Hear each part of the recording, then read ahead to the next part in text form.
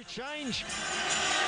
Yeah, it is. Um, what I most liked about the three games, and especially the one over Everton, is isn't it great to see a team that looks like it's having fun? So often watching Wolves in the last few seasons, even when they've been winning, everybody's been a bag of nerves. Against Everton, the players look as though they're having the time of their life. Exactly. And you can see that when a team's confident, they're really loving it. They're, they're loving their football. It's the, the one thing that footballers want to do. They're very blessed. I was very blessed to be a, a professional footballer and do what I love to do, as well as getting paid for it. bit like you, Mike. You love what yes. you're doing. So, I get paid for this. but um, I know what you mean. Yeah, yeah but but it's great. It's great to see that, that there isn't that little bit of uh, nervousness about making a mistake. Yeah, if you make that's par for the course, but you can see that the team help each other as well.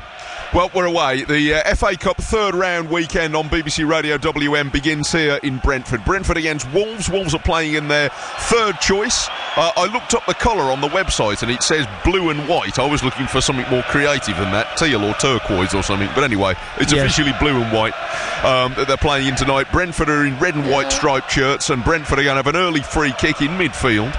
Uh, which gives me a moment to tell you that the Wolves team tonight, then, just to confirm, is Sá in goal, Kilman, Santiago Bueno, and uh, Go, uh, Toti are the back three. Semedo and Doherty wing backs, Gomes and Doyle in midfield, Sarabia, Bellegarde, and Cunha up front. And I'm interested to see the combinations that they'll be in um, when it uh, begins to develop. The delays because Neal who is starting up front for Brentford tonight, has taken a bang on the head in that uh, incident that's given Brentford a free kick. He takes a moment to get up. So uh, we'll look at the Brentford team in a few moments. There was quite a bit of discussion as to what their formation would be here. Expecting them eventually to be with the same back three, but for the moment they have the first attacking set piece of the match after just one minute. It's to the left hand side for Brentford as they attack the Wolves end to our right. And all teed up by Keane Potter out to the left and now chipped into the penalty area, came deep through the box and Sá might have thought about coming for that, decided to leave it. Toti Gomes has dealt with it insofar as he's lashed a clearance high in the air, comes down on the near side to us, the Wolves left, and Doherty sees it safely for now out for a Brentford throw.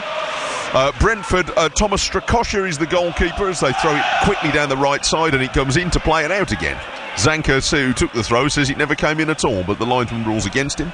So Thomas Strakosha is their goalkeeper. Nathan Collins, Ethan Pinnock, and Zanka, the expected back three. Mikkel Damsgaard and Mads Roerslev as wing backs. Josh De Silva, Christian Nørgaard, Mathias Jensen in midfield.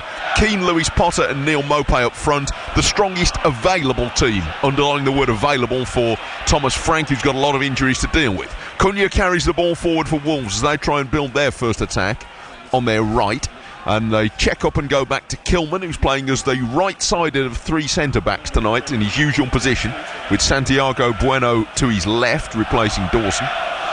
Doyle now spreads it to the right and uses Sarabia.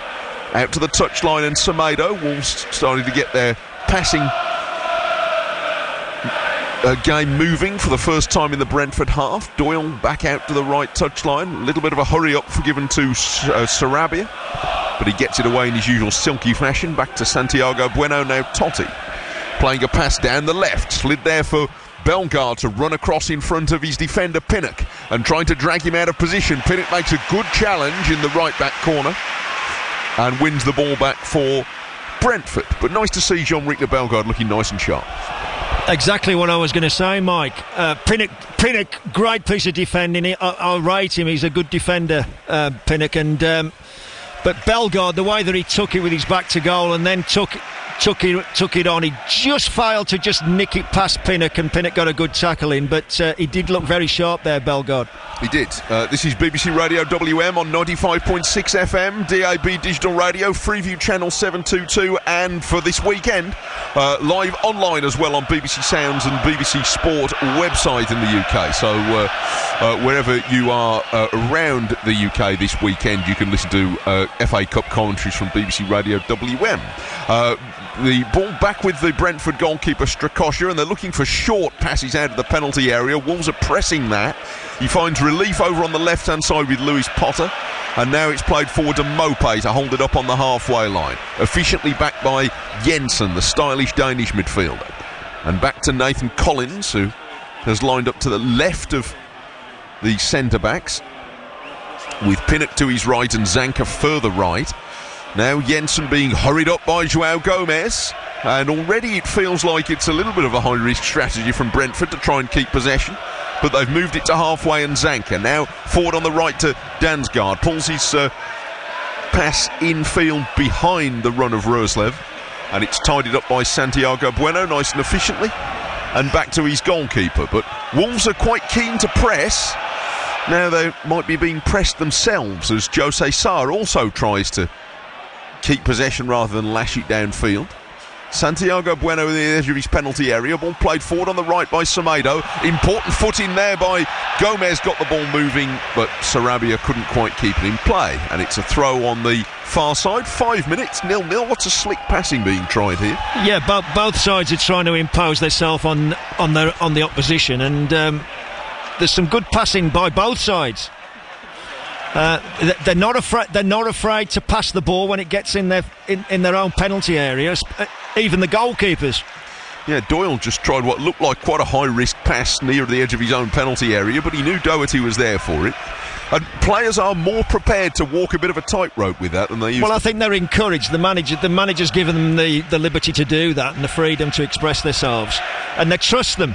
And the thing is, they can trust them far more on the on the the surfaces that the, the lads play on now uh, are totally different to what they were just even just a few years ago. The the advances in the technology. Oh, Wolves, Wolves have got a great an chance. error here, and Cunha threw Oh. against the goalkeeper, and the ball knocked loose by a defender, and it flew just over the bar after the uh, touch from Zanka. But that was the pressing that Wolves made, and they forced the- errors in the game here before. Strakosha caught out this time.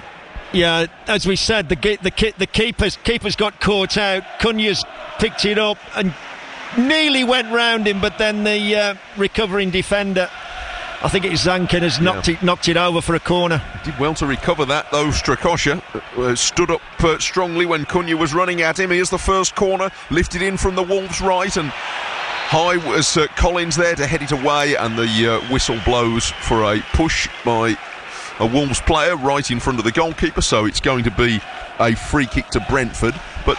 I mean, Brentford got themselves into a pickle several times in the game here uh, the the other week when Wolves picked well Hwang wasn't it? He was uh, chief pickpocket for Wolves, who uh, who stole in and they walking the uh, the very same narrow path again there with Strakosha. Well, this yeah, this time it was um, Cunha who uh, who intercepted the pass from the from the goalkeeper. But looking at it again, we've got the benefit of a screen in front of us. Um, it was a very poor, very full pass. It didn't take much much intercepting. Put it that way. the referee Tony Harrington just held play up for a moment then, so I assume that the the video team were looking at something, but whatever it was, uh, it's gone uh, past quickly. Tony Harrington is the man in the centre. But that only scratches the surface of the uh, refereeing uh, uh, team tonight. Now, there's a foul there by Joao Gomes, uh, trying to stretch for the ball just inside the Brentford half. And the referee marched over quickly there as if he thinks he ought to be taking a bit more action. And the Brentford player who's landed heavily is Nørgaard. We're going to see a replay now. Gomes was stretching the ball, he's been sent off. He's been sent off by the referee Harrington on the field after just eight minutes. The red card was waved there, and Gomes, I think he's going to be going here. Well, we, we've got the opportunity to see that again. But uh, Yeah, presumably the VAR officials will get involved too. uh, what on earth? I mean, ju- uh, I'd rather not comment till I see it again, Yeah. Mike. But um, Just to clarify, we just is- to clarify what what, Well- what on earth went on there. Obviously, he's stretching for it and the whatever, but he didn't look as though he he's, he's launched himself. We've seen some some tackles and, and challenges that have been really out of order, but that didn't look at that didn't look. It, my gut feeling says it Yeah. didn't look as though it was a. A sending off offence. Well, there was one. but I, I, I haven't yeah, seen. there I haven't one seen in a game replay yet. in the cup tie last night, the Crystal Palace game uh, and Everton, where um, uh, Calvert Lewin was sent off, wasn't he? But uh, and that was contentious. I have to say that a stretcher has now appeared for Nørgaard, so um, let's hope that. Well, well, isn't hopefully too bad, Nørgaard's That he's going to be okay, and oh, he was caught on the ankle by Gomes, who was stretching for it, and it might be that whatever the we feel that the extent of the foul was, that it's damaged Nørgaard's ankle. Although he's been well, he's lifted up, but I don't think he's Well- going to be carrying on Nørgaard. So that doesn't necessarily affect whether we think it how bad I think we uh, the tackle is, whether it's The- an the- injury the- or not. But there is an injury. what what what what happens to the what happens to the the player that's been tackled it should be totally irrelevant because the thing is somebody can have an innocuous tackle that's a fair tackle and get injured is that does that say oh, sorry we've got to wait to see what the in, what how bad the injury is before I decide if I'm going to give you a card Well, it's yeah. it should be on and I don't I didn't see any malice in it He's, put, he's, he's, he's very competitive, Gomes. He wins a lot of challenges. He wins a lot of tackles.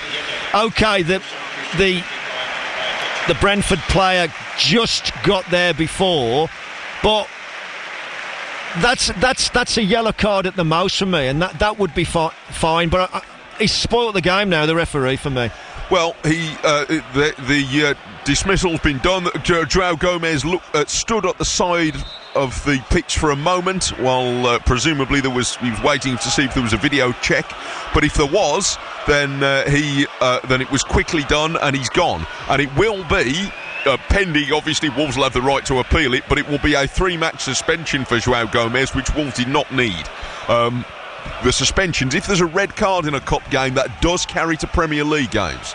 So he will miss the uh, the next three Premier League games as it stands, pending whether or not Wolves choose to appeal. For now, though, they're playing with 10 for the rest of this game, and uh, we're only in the 12th minute.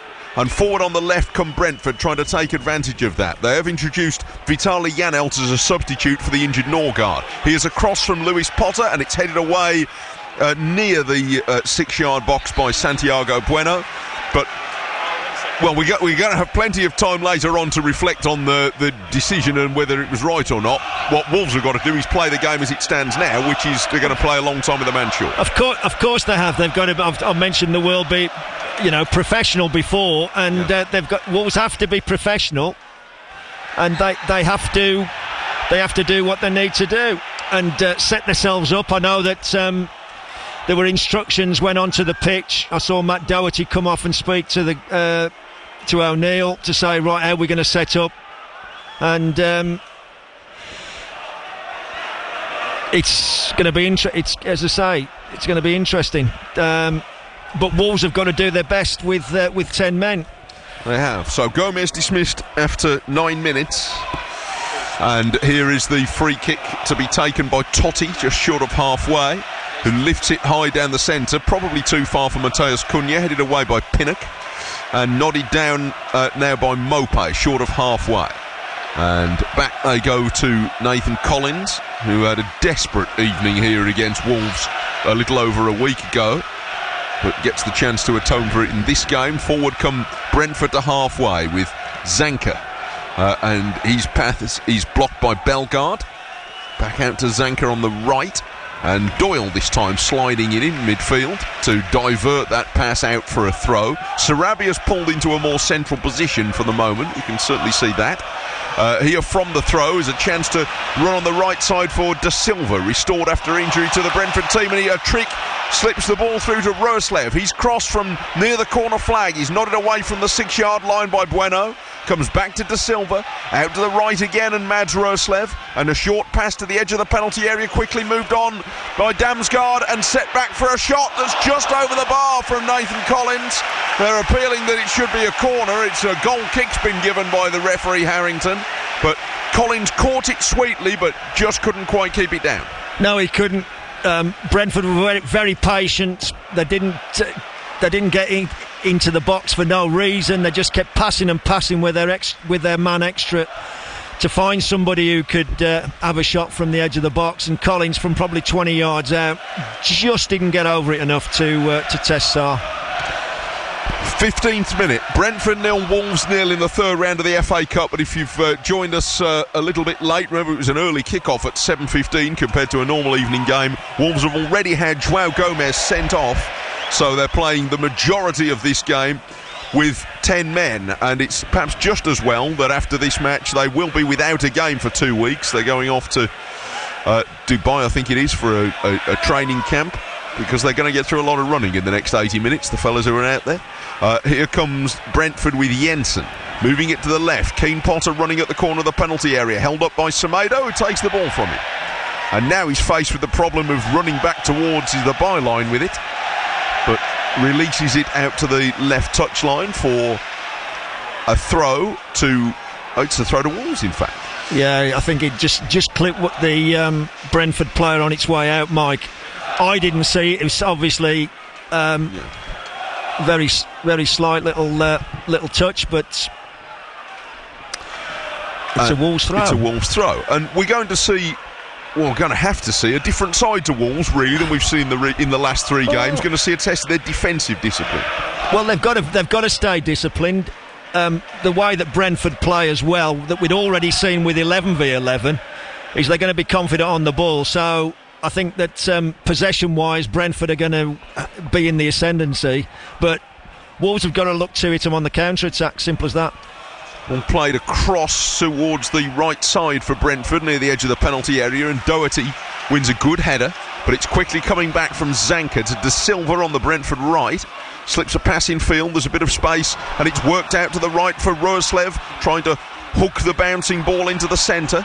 Wolves there in numbers. Toti Gomes away. Comes back to Zanka. Midway inside the Wolves half. 16 minutes. Brentford nil. 10 man Wolves nil. Is De Silva moving in from the right touchline. Trying to glide away from Tommy Doyle, who stayed with him. Back out to Zanka to the right side. Bellegarde covers the crossing angle. So he goes further wide to Mikkel Damsgaard. And Damsgaard edging his way towards the corner of the penalty area. Slips a pass forward to De Silva and uh, Roerslev and Zanka. And now he swings across in and it's towards Maupay and it's very well defended by Kilman, who nipped in yeah. front of Maupay and just yeah, it nudged the ball away. The uh, Wolves skipper read it very, very well saw what was happening then and just stepped in front of Maupay just as the ball was coming in and, it, and dealt with it very easily. But he, if you let it get into Maupay in that situation when he's between the six yard box and the, and the penalty spot with his back to goal, it can cause you all kinds of problems. Yes, because he is so quick at moving into yep. those little gaps, and so Kilman had to be really sharp to get to that. Now yep. there's a chance for Wolves to break out, and Semedo won a good ball on halfway, got there before Lewis Potter, and plays it out to Cunha, who crashes into a defender as he won a corner? Yes, he has. Well, that's that's the other thing in that. Um, Big Max Kilman, Toti, we've seen score from corners. Kilman, um, we haven't got Dawson, but Santiago's um, decent in the air as well. So this this will be a re- it's one of the avenues where Wolves can actually hurt Brentford. They're not going to hurt them too much in open play, apart from the um, the counter attack which we just saw led by Cunha and they do have the pace. That will but, remain a but, weapon even with ten. And men. Sarab- yeah. Sarabia's uh, left foot is is service is ex- usually excellent. He, he, goes, goes beyond the far post this time. Kilman's making a run there, heads it towards the near post, and now b- trying to battle his way through the scrum. What's the linesman giving? He's giving offside. So that was a disappointment. Yeah. Um, but uh, I thought he seemed to be pondering whether he was going to give another corner or not. Yeah. But it's offside. Kilman got it very well for that in the first place. I have to say, it wasn't immediately apparent where the offside was, but anyway. Uh, well, there wasn't one. That's I've just seen it again. That's yes. ridiculous. Well, forward come uh, Brentford in response, but Kilman's there again to block Keane Potter's pass into Maupay. And a clearance down the right. Cunha is he is going to make sure that the Brentford back three don't take any liberties. Well, Cunha is Cunha's um, really good athlete. Um, I've said that before. He, he does everything. He's, he carries the ball very well. He, he, he runs behind very well. Um, you can't take an he, he can. The thing is with Cunha, even with two, three, four players round him, he can go past a lot of them. Uh, he's capable of doing that. Roerslev slalomed in field, but gave it to Jensen. He's played it back out to the right side, and Matt Doherty makes a very well-timed tackle on Josh De Silva, who started yeah. on the right and been quite a handful. Yeah, De Silva started off quite quite well for, for Brentford. He's looked uh, he's looked to danger. He's looked very comfortable on the ball, Mike. And uh, Doherty kept his eye on the ball. So it's a first Brentford corner of the game in uh, the 20th minute. Brentford nil, Wolves nil, and a corner on the right with Jensen standing over it. Keane Potter's offered a short option, so too is Damsgaard. And Jensen plays it short for his fellow Dane Damsgaard. Now back to Roerslev, who stands it up beyond the far post. And Sá thought about coming and didn't. Pinnock hooked it back towards goal, and Sá clawed it away from near the corner of post and bar. And uh, had it under control, but it was close. Yeah, there was a slight bit of hesitation or yeah. doubt what, what was going to happen, but um, Sá quickly uh, grasped the ball into him and uh, settled everybody's nerves. Passed back into his own penalty area by Doherty to Doyle, showed great confidence in his collie, and Doyle dispatched it, uh, seeing that there was no pass on, at least got it away up to the halfway line. Yeah, that well, sometimes you've got to be, you've got to, as we were told, you put your sometimes if you're in, in your own penalty area and everything, it's, there's no disgrace in just putting your foot through the ball and clearing no. the danger. Especially not when you're a man short. Uh, exactly. 21 minutes at the Brentford Community Stadium. Brentford nil, Wolves nil. Wolves reduced by one with the dismissal of Joao Gomes in just nine minutes for his challenge on Christian Nørgaard, who then left the field injured a few moments after. Here's Damsgaard playing the ball to Vitaly Janelt, the substitute who replaced the injured Nørgaard. Now on to De Silva, who's running in again diagonally from the right. Doyle shadowing him, plays it across for Collins. Brentford with everybody pushing forward towards the Wolves penalty area. Maupay peels away from the front, takes a touch, gives it to Janelt, who chips in his cross looking for the far post and headed back across into the centre by Damsgaard. Couldn't find another red and white shirt. The ball is looped back in towards Maupay. And Santiago Bueno was touch tight to him. Won't let Maupay get clear. Semedo's looking to bring the ball away, but it's very cleverly played against him by Collins, who wants to take a quick throw and does. Too quick. Because Bellegarde reads where it's going. And he releases the pass down the right touchline. It stays in play. Collins takes uh, a pass down the left to Jensen, who wins a throw, and Brentford are trying to turn up the pace a little bit now. Yeah, they're very busy, aren't they? They the ball goes out for a throw in, they're getting it quickly, throwing it very quickly, uh, trying to take advantage of this um, Wolves down to 10 men. And Da Silva forward on the right and trying to work a 1-2 with Damsgaard. It was blocked on its way through by Toti, but it's come back to Damsgaard, who's turning one way and then the other, and now releasing it to Roerslev on the byline, and almost an own goal by Toti. Sliced it across the six-yard box, wide of Sá and wide beyond the far post. Jensen tried to put it back in, and Wolves have cleared it. Yeah, I think uh, everybody of a Wolves persuasion would have had their hearts in their mouth then because uh, it it skidded across the Jose Sá's line and um, went out the far side and then nearly came back again. Um, well, I think Toti Wolves, thought he'd got to get something on it yeah. and take his well, chance. What are we well, at, at, the end of the day, it's yeah. worked out for him.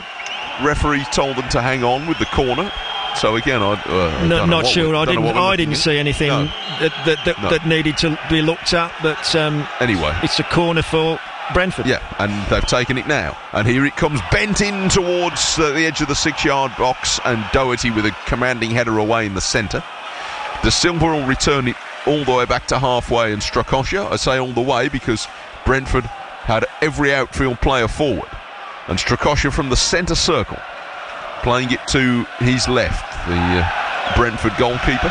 And, ov- and, obviously, with Wolves down to ten men, Mike, it's up that they've they've retreated thirty to forty yards back into their own half. They're not even presenting any challenge to uh, to Brentford's possession of the ball until they get halfway into yeah. Wolves' half. Yeah, they still retain that deterrent of the pace. Yeah. Now, there's a Wolves player down on the far side, and the referee has stopped the game because Doyle has been fouled.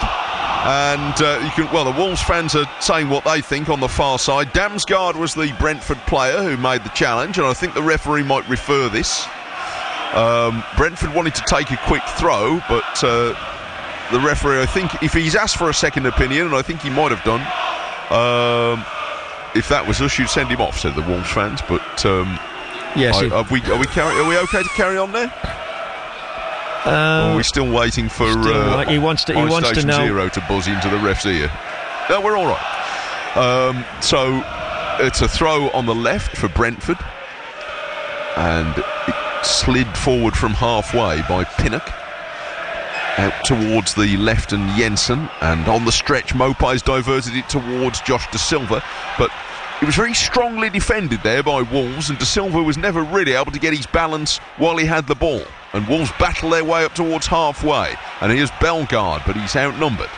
And Brentford move it back. Uh, Bellegarde uh, almost caught Collins there, who went gambolling out of the way of the, cha- the tackle.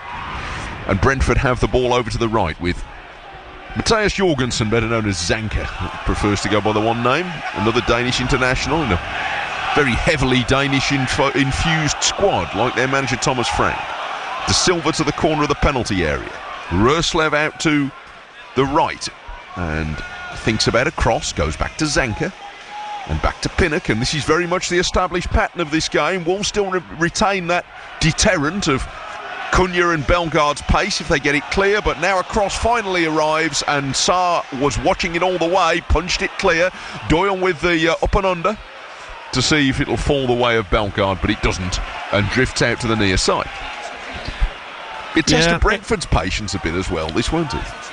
Yeah, well, that, that, that- they'll have to keep patient because they know that if um, if they if they're not at it, they know that uh, Cunha and Bellegarde can uh, can find them out. If they can get Sarabia in there prompting them, um, Wolves have got opportunities, and if they can get up the pitch, um, free kicks and corners, Yeah. you know, they can get their centre backs up and cause problems. They can. De Silva working a pass across to Jensen, who had Bellegarde interfering with him all the way then, and Jensen was never going to get that. And now Cunha's been pulled back by Zanka, and that's a certain yellow card. Well, that's a definite yellow card. It is, and there it is um, for Zanka, because well, it's, they know the threat that comes from Cunha, and with so many Brentford players pushed forward, I'm not sure why all the Brentford players are all round all round the referee, Mike. I just can't see it, me. yeah.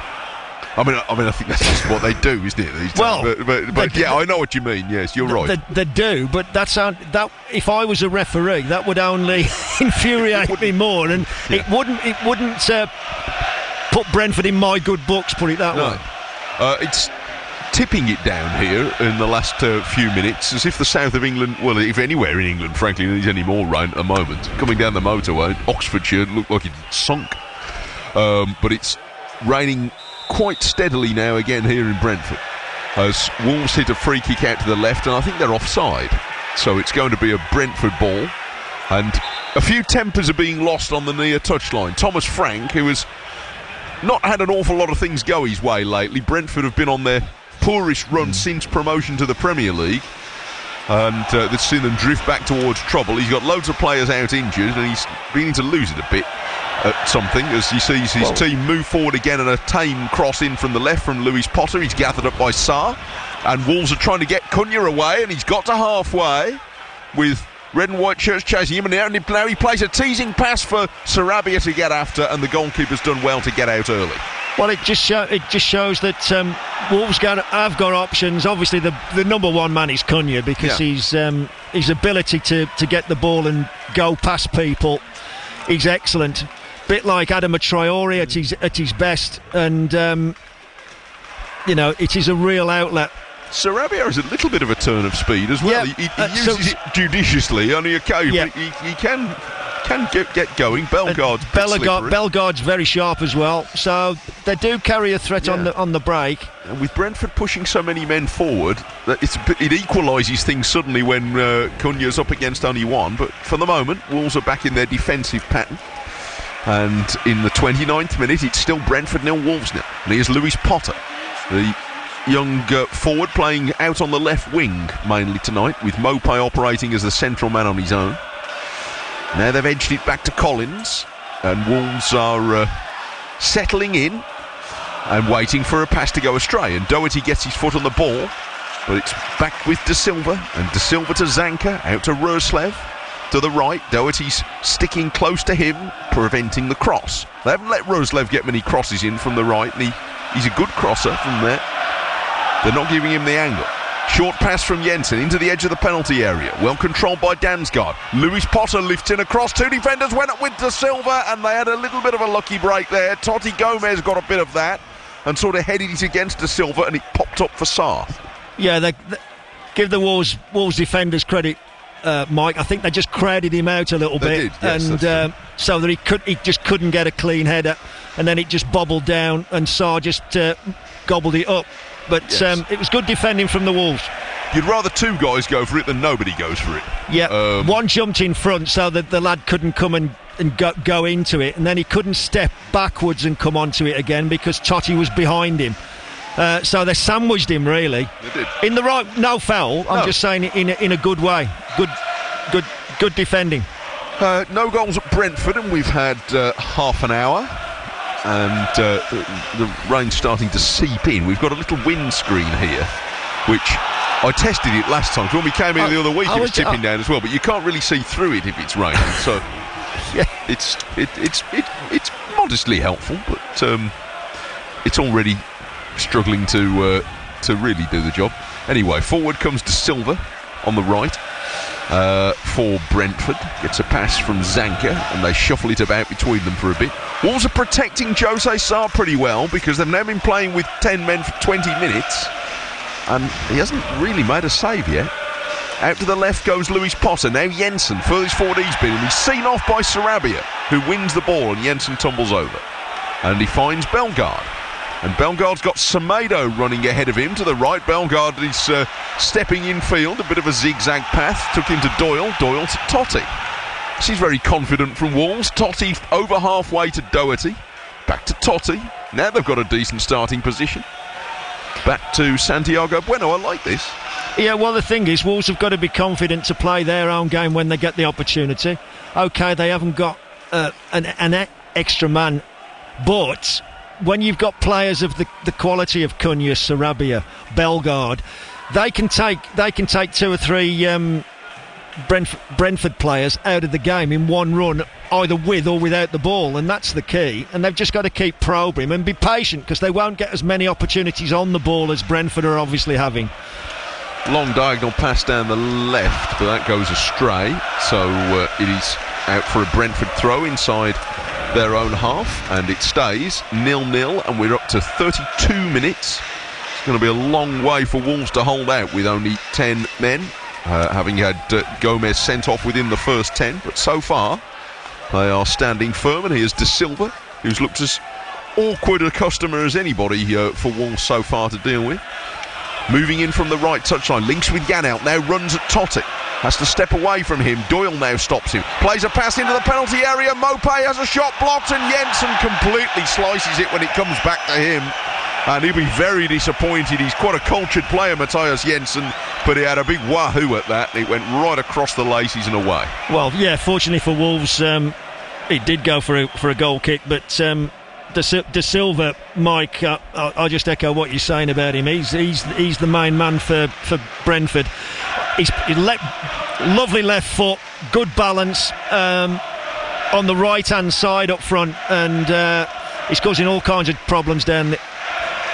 The, ne- the nearest uh, nearest side to where we're uh, we're commentating from. Well, it's his first start of the season. He's been troubled by hamstring problems, and he's one of a number of players that Brentford have missed. They've lost their last five in the Premier League, including against Wolves, of course. Damsgaard looks as though he got a hand of handful of Bellegarde shirt there, but Bellegarde keeps going all the same, and he's linked up well with Doherty on the left. And the referee's happy to let play go on because Wolves are starting to crackle some passes around nicely, and he lets them get on with it. And Sarabia looking out to the left. Oh, there's nobody there. Well, I'm not sure. how- down, I'm not. Well, he's obviously there's mixed messages going on because he thought somebody was going there, nobody did, and the ball went into a place where there wasn't a Wolves player within 20 or 30 yards. So uh, they got it completely wrong on that occasion. But I liked that. Uh, the last two or three minutes, we've seen Wolves come out their shell and play a bit. They're looking to be positive when they can. Yeah. Now there's a long punt down the Brentford right. They're trying that, and it skids on after what is now a very slick surface. Yeah, and uh, goes away Matt, from Matt Doherty's um, shadowed it away from De Silva, and um, good defending from the dot. Yeah, he's been very, very good so far, coming in from the left uh, wing position, but he's stuck to any Brentford player that's come near him with the ball. Hasn't given anybody any room. Matt Doherty was having to. Uh, spent most of his time on the bench since coming back to Wolves this season, but uh, I, I th- think there that, will be time where he that's plays. because of the good form of of, of Semedo and that's obviously true. Aït-Nouri, uh, Bueno when he's uh, when he's at the left yeah. left back. But um, and th- uh, we've heard the manager um, Gary O'Neil mention that on a few occasions that um, that Matt's he'd lo- love Matt to have more time on the pitch as the, as the player would himself. He but would. Uh, but it's a nice position to be. He's got four competent but, fullbacks. That but that's the, that's the thing with a manager. You know, you you've got to. It's good that players are knocking on your door or having a word and. Yeah. Just expressing, just making sure that, that, that the manager knows that they're they're not happy on the bench. But a good manager, that's what he wants. Yeah, he doesn't want people that are happy to sit on the bench. No, no. Well, over a, the, a rigorous season, you're going to need them all sooner or later. That's yeah. Sure. Uh, here's Sarabia away to the right, and uh, the ball is with uh, Bellegarde. That's just shows in our ear that the challenge on Doyle a few moments well, ago that had Doyle upset um, didn't look all that great. It was. So. I don't think either of them. If if the first one and the Wolves fans picked it out because it's near them. Yeah. If, if that's if one's a sending off, the other one is. But I don't yeah. think that the first one's a sending off. I think it's a, it's it's a yellow card because he's got it wrong. Mm. But it, I don't think it was. He wasn't out of control. He didn't fly through the air. He didn't no. kung fu kick him. Did no, he? he was low. He was certainly. Yeah, low. that's what anyway. I mean. Anyway, on we go. Um, there is, uh, as I was saying earlier, there is VAR in play tonight. Um, and there's an extra VAR official compared with the Premier League games, which apparently is what FIFA do in their games. So the VAR is Rebecca Welch, the. Uh, what I forgot what it was called now. The support VAR is uh, is Jarred Gillett, who is there to, to help the VAR. There's also an assistant VAR as well uh, who's the linesman now. Doherty's down on this near side after a collision with Roerslev, who's being booked here. Roerslev. Well, he should be, yeah. Yeah. So that's. He's, he's, he's intentionally just blocked, took him out. Um, because Matt Doherty's played a clever little one-two. Roerslev understands that he his, his momentum is going forward and he can't get back in time, so he's got to take he's got to block him off, which is a straightforward yellow card. Well, there's two now on this right side of the Brentford defence. Zanka, the right-sided centre back, and Roerslev, the wing back, both on yellow cards now, which the game being as it is will not have escaped the attention of Cunha and Bellegarde. No. And it is a free kick to Wolves, and we're in the 37th minute of an increasingly damp first half in West London. And it's Brentford nil Wolves now. And here's Sarabia lifting the free kick in beyond the far post and a run being made by Toti and he gets there first but can't keep the header down. It was from about 12 yards and he ran onto it full belt. He might have been surprised that there was no defender with him, but I think he had rather more time and space than he thought there, Toti. Yeah, for me, for me, he'd got to just go it back across the keeper into the yeah. far post and couldn't quite get it right. But a great ball in. I've mentioned that the cultured left foot of Sarabia and the, his delivery is absolutely excellent, and it was on that occasion. But um, unfortunately for Toti, he couldn't quite um, direct the ball back across the keeper into the far far bag. Completely caught Brentford out, and uh, but ball played out to the uh, right hand side, and uh, back it comes to the byline and knocked forward by Cunha. Now towards halfway and they lose it. And the ball is with uh, on the right Zanka. Zanka to Damsgaard. And uh, Brentford have settled into their position once again here on the uh, just inside the Wolves half and now working it in field from uh, De Silva and De Silva shot pushed away by Sá. First save he's really had to make, but he was right behind it, down low to his right and pushed away uh, De Silva's shot. He was hit left footed. First time they've really given him a little bit of space, and uh, He had the shot on target, but Sá was right behind it. You would expect. Brent, look, Brentford are decent. They're very good here. Uh, Frank's had to put up with lots of um, injuries. Very, very uh, testing on his squad. They've not had some the results, so they, they've, they've been under pressure, but they've carried on uh, playing their game and stuck to their principles. And you know, six to go to half time. There's a foul here by and all Sarabia. credit, all Yeah. credit to him, Mike. Yeah, indeed. Uh, foul by Sarabia was outside the penalty area as uh, Jensen was trying to work his way through to put a cross in. Jensen is. Uh, the Wolves fans are right in that corner, and they're not great fans of Jensen at the moment. They had a, quite a good look of Jensen's challenge on Doyle, which uh, did not receive further punishment but might have done. Um, and they didn't really appreciate the way he went down under Sarabia's challenge, although he Well, Sar- was a foul. Sarabia didn't follow through with the challenge. No. he, he, he- he's, he's looked as though he's going to lunge, but then he didn't. No, but uh, Jensen took off. And then Uh, Jensen's anyway. gone down as if he's poleaxed. Anyway, it's a free kick to defend with five minutes to go in the first half. So Wolves have flooded their own six-yard box with defenders.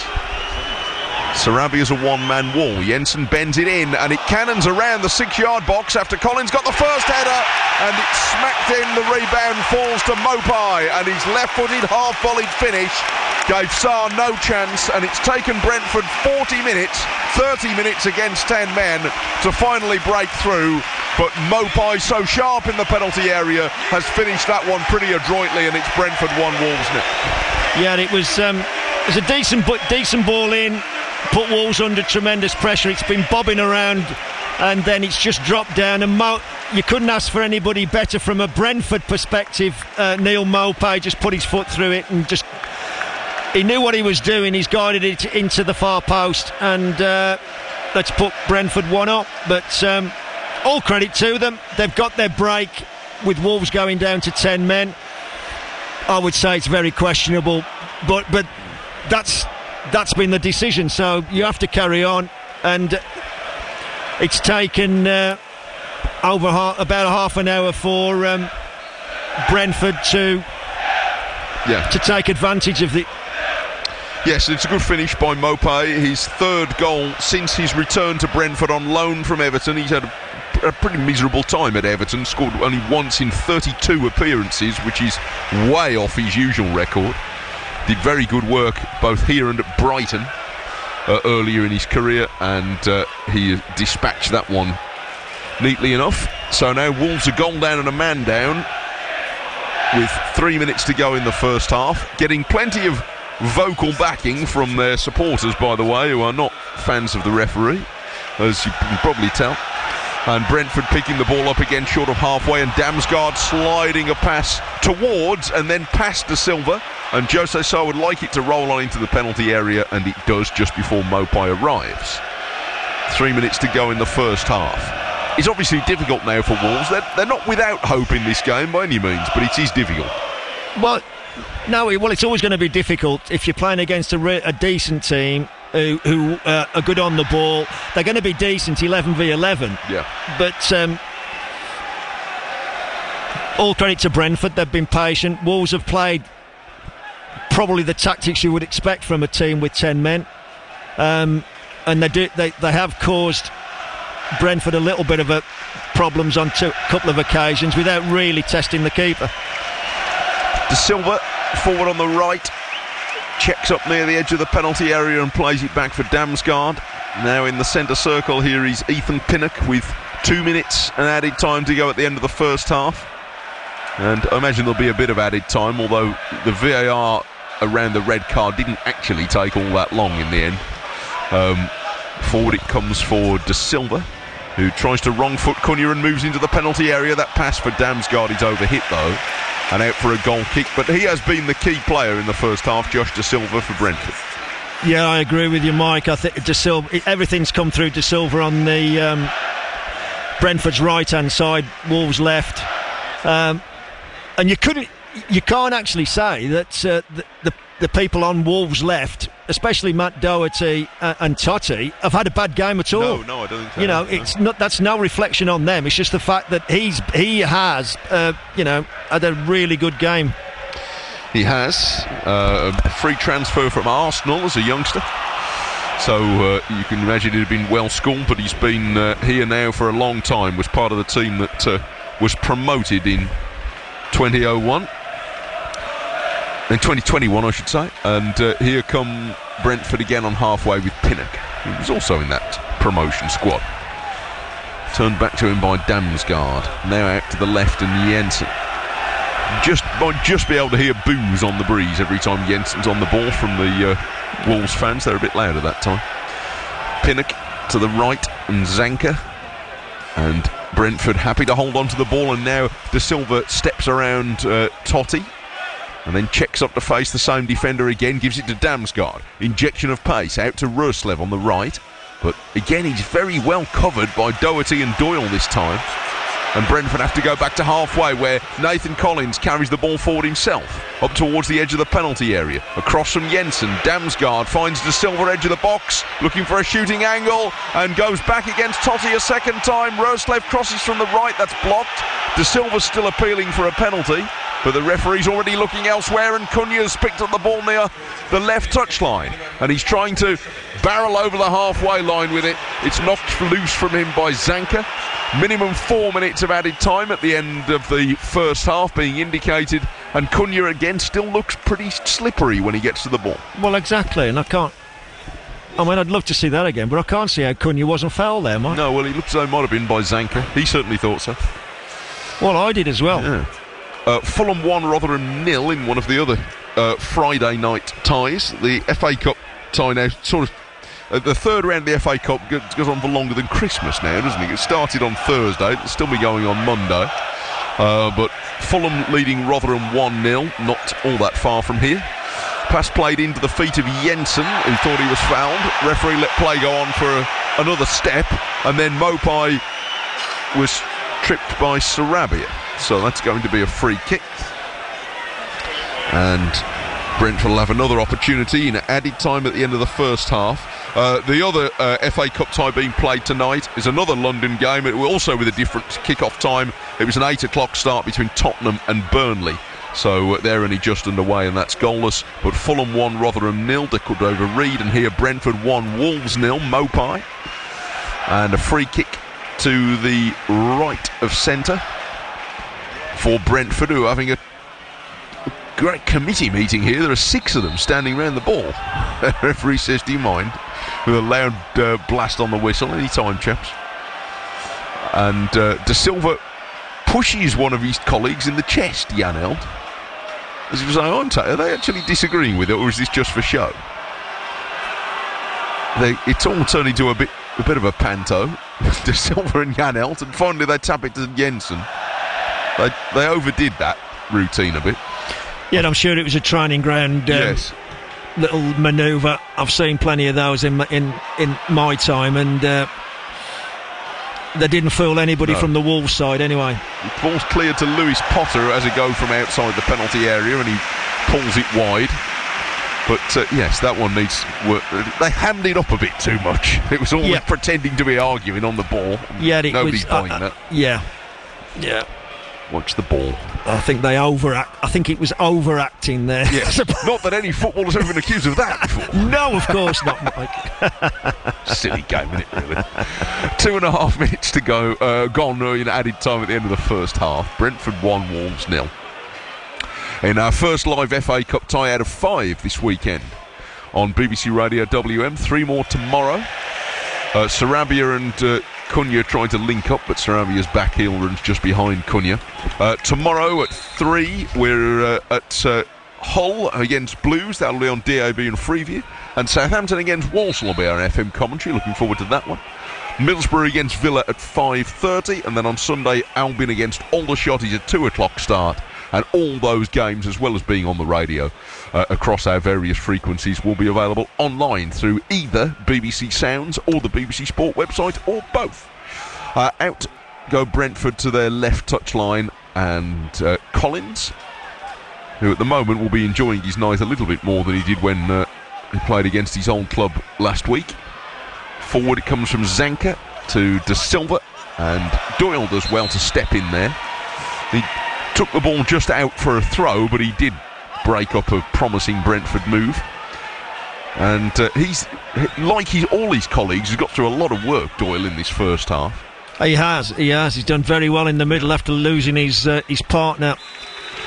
And that's half time. Um, um, Gia's from the, the, Wolves fans, but yeah, I mean that's not ne- not necessarily what we'd associate with being Doyle's game. Is putting his foot in. He's meant to be the creative guy, but he's, he's done, done, very well. He's done he's done really well. I mean, he, has been doing well anyway, but especially uh, losing Gomes so early.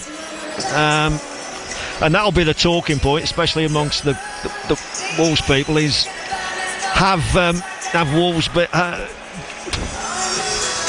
got got a, uh, been the receiving end of a poor decision? But in my opinion, yeah. yeah but it's all about opinions. Indeed, And now we've got a third opinion uh, in the VAR room as well.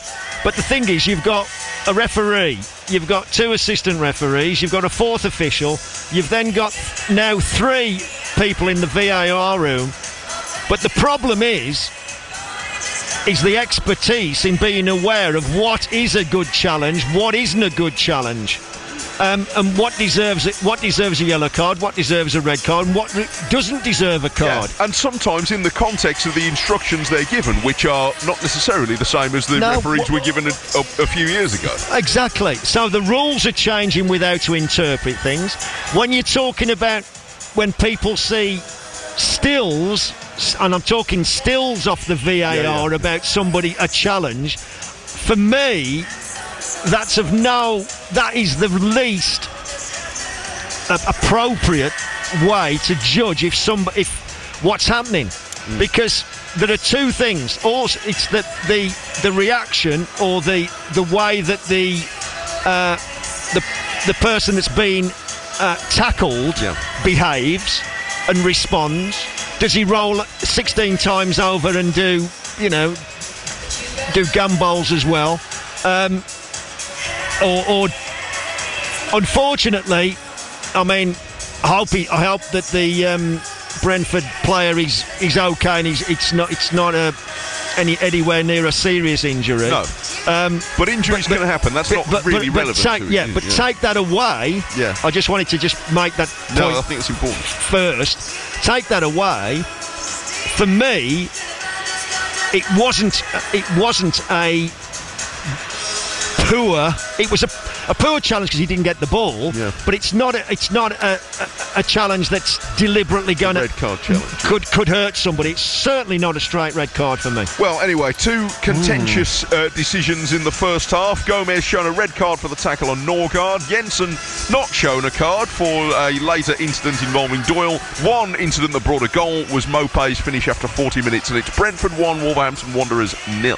Yeah, a tale of two tackles and I know that there's no TV pictures for people to see at the moment, but I'm fully in agreement with Mel Eves and Mike Taylor there that if one of them's a red card, then the other one has to be, or neither are. The first one, straight red for João Gomes for a challenge on Christian Nørgaard, where he caught him, but it wasn't dangerous, it wasn't malicious, it wasn't out of control.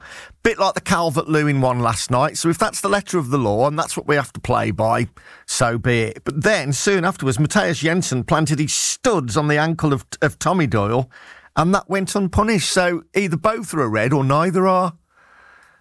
Again, Wolves up against it now, though, down to 10 men, a goal down as well. It's a long way back. Can they find a way back in the second half? And we'll have it live on BBC Radio WM Sport during the half time interval. We'll start looking forward to our other FA Cup ties this weekend. Don't you just hate it when you're listening to your favourite show on the radio? Then life happens. And you do kind of walk up the steps to the stage and you get that shiver down the back of your spine and you're kind of thinking, are we really doing this? And you go, yep. With most smart speakers, you can ask BBC Sounds to pause, rewind, and restart live radio so you never miss a single moment. Are we really doing this? And you go, yep, you're doing this, son. You'll be all right. You'll be fine. And off you go and you do it. It seemed to turn people. Suddenly everyone yeah. went, Did you see Rick Astley? Yeah. Get more from your smart speaker. To get started, just say, Ask BBC Sounds. BBC Radio WM Sport. So half time then, Brentford 1, 10 man Wolves nil. The second half on the way on BBC Radio WM Sport. And now we're going to look ahead to the other weekend ties involving our local teams. Uh, four of our five teams all drawn away from home in this FA Cup third round. And Walsall will be looking to cause an upset as they go to Championship high flyers Southampton. And Isaac Hutchinson, the Walsall midfielder, who's got 11 goals already this season, says they'll be heading to St Mary's full of belief. Yeah, definitely. I think that's probably the main um, main difference in this last probably what is it six, seven games or so. We've um, we've grown in belief every with every game, um, and yeah, we just go out there and, and believe that we're going to win against whoever's in front of us. Um, got full confidence in our in our team, which we have done all season. But I think now we just there's an extra level of of belief and wanting to do well, and I think we all believe it now. So how are you feeling about this Saturday then, going to St Mary's? Yeah, buzzing. Obviously, we know that it's going to be a difficult game, of course. They're doing really well in the championship, but we've got our we've got our run of games. And we're in form. Um, like I say, our belief is is sky high, so that anything can happen.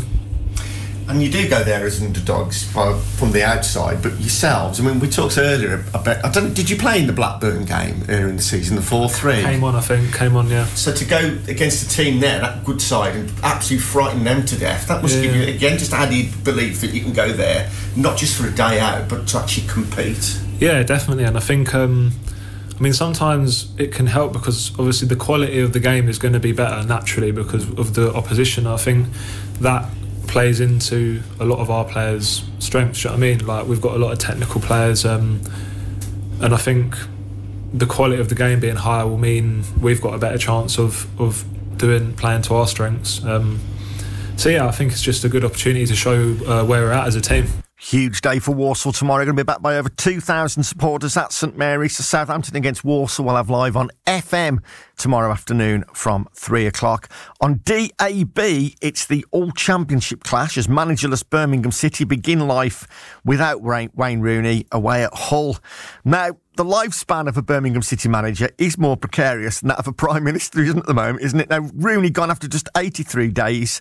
Blues now looking for their 11th permanent boss since Lucas Jutkiewicz signed under Gary Rowett just eight years ago. So up steps long serving head of professional development, Steve Spooner, a man acutely aware of how much change there seems to have been in recent years. Yeah, that's it. It is, there has been a lot of change. Um, you know, with, with John going and then Wayne coming in and then Wayne going. Um, but it, you know, that's modern day football. That's not just this football club. That happens at a lot of football clubs.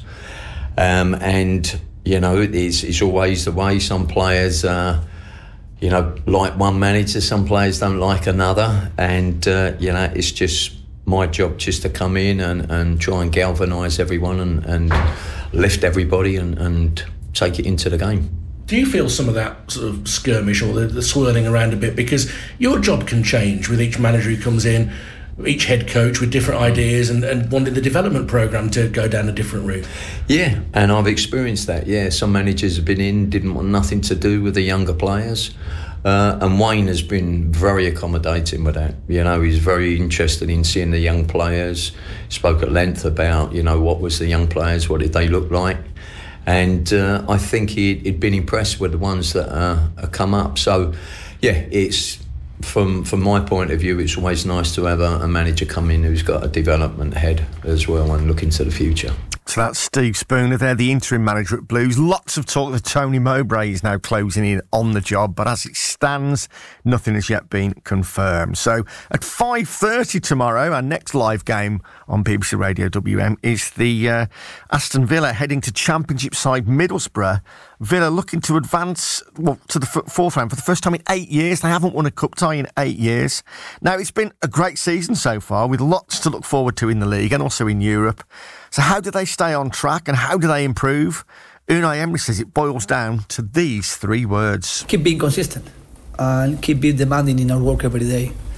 And uh, we, we, we have to, uh, to remember everything tactically, more or less, uh, about uh, how we, we, we want to, to defend, how we want to, to build our structure with the ball possession and without the ball possession, and uh, how we, we, we, we can keep being consistent in our mind, in our mentality. Uh, try to be competitive each match. Try to adapt of the opponent. Try to be respectful of them. I think football is very, very, very, very, very difficult, and uh, how we, we, we can keep being consistent in everything, every day, uh, being responsible being mature to work every day to, to try to, to rest, to take to have good food, and every day try to, to respect the opponent. Every day try to to build our structure, the, reminding the players uh, how we want to to to build up, how we want to, to keep all position with good positioning, how we want react with we are losing the ball, counter pressing, how we want react when we need to to defend together. It's everything, but uh, we did something better and sometimes worse, but to keep doing it is really important to try to be demanding every day, reminding the, uh, reminding the players and, and, as well trying to be consistent in my mind with the players about uh, the, the level we want to achieve. Now, the only one of our local sides at home in the FA Cup West Bromwich Albion, who host uh, National League side Aldershot on Sunday afternoon. We'll have that live as well. And, and Baggy's boss, Carlos Corberán, has confirmed that Daryl Dike will start. It'll be his first start for eight and a half months after rupturing his Achilles. And he said it's a big day for both him and the club. We are looking forward for this moment, especially him, because he has been long time managing his, his injury and now appear the moment that he's going to come back to the competition. He has been training with the group, the training that he could be part of the group. Unfortunately, in a very demanding period of games and no very number of trainings, collective trainings in the day by day, but enough to can use him now and to give the 45 minutes that for me he needs right now because for him, he's, he's had a physical battle to get over, but also a, a, mental one. So this is going to be a huge positive mental boost for him. I, th- I think so. And every time you have the game time, for me, the challenge has been before to arrive to this moment, and now will be a different challenge. The previous challenge was to make himself ready for the competition, and now the challenge that start from the next game is to make him ready to compete in the best level that he can, to help the team in the best way that he can help the team.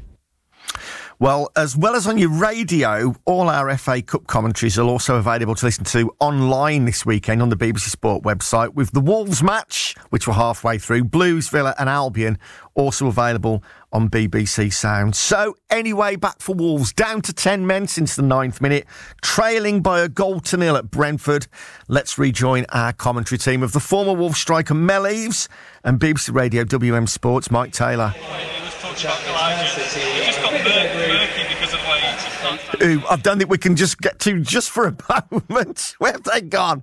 Uh, so we'll re- we'll rejoin the boys very shortly.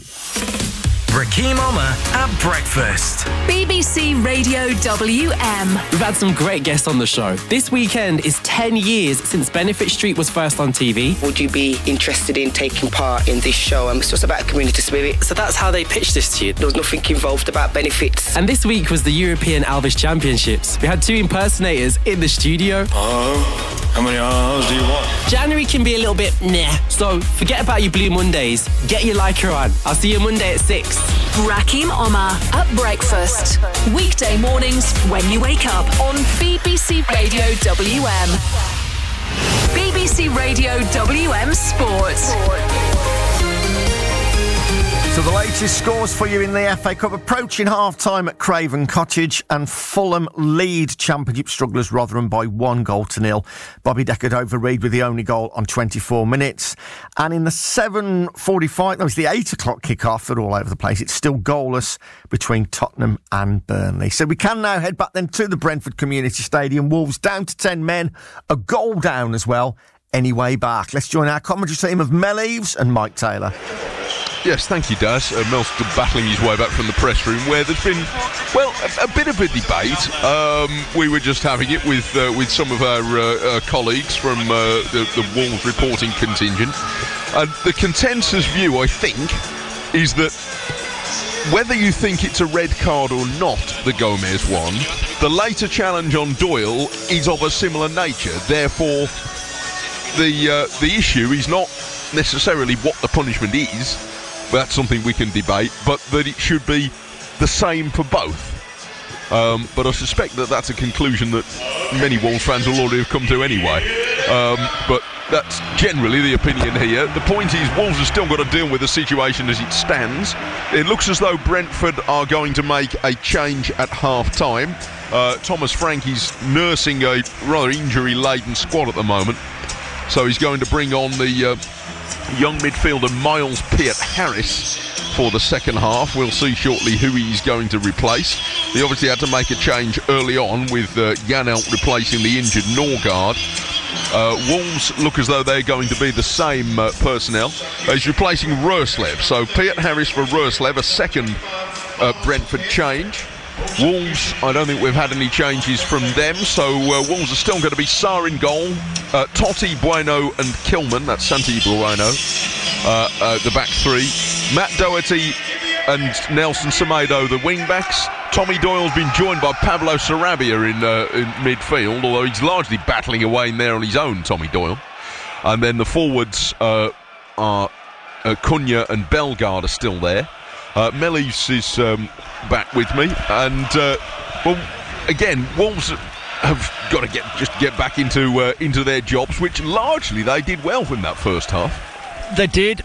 They're going to have less of the ball, but um, they have got players that can hurt Brentford on the on the counter attack. They've got pace. They've got ability. Uh, they've got people that can carry the ball as well as uh, running behind. So. Mm you know, there will be opportunities for Wolves. They've just got to be very disciplined, and if they do get chances, they've obviously got to take them. Yeah, the longer they hang in the game, um, and really, there was only one clear chance. It was well, well taken by Maupay, but it was the only really clear chance that Brentford forced. Yeah, and that, that was that was forced from the, the, the old-fashioned way of just putting yes. it in the mixer, really. Um, they didn't play their way through. They they put it in the mixer. They got enough bodies in there, obviously, because they got the extra man, and. Uh, it just fell for Maupay, who's Fox in the box. Yeah, so the game isn't over yet by any means. Uh, with Wolves only one down, even though they are playing the majority of it, of course, with 10 men. Toti's header has just about got enough urge on it to get back to José Sá. So the Brentford lineup is Strakosha is the goalkeeper, uh, Zanka, Pinnock, and Collins, uh, three central defenders, with Lewis Potter effectively playing as wing back on the left hand side and De Silva attacking from the right. Peart Harris has gone in in midfield at the moment, or he's got in fact he's gone in up front almost alongside Maupay. So Damsgaard, Janelt, and Jensen are in midfield, with De Silva attacking from the right.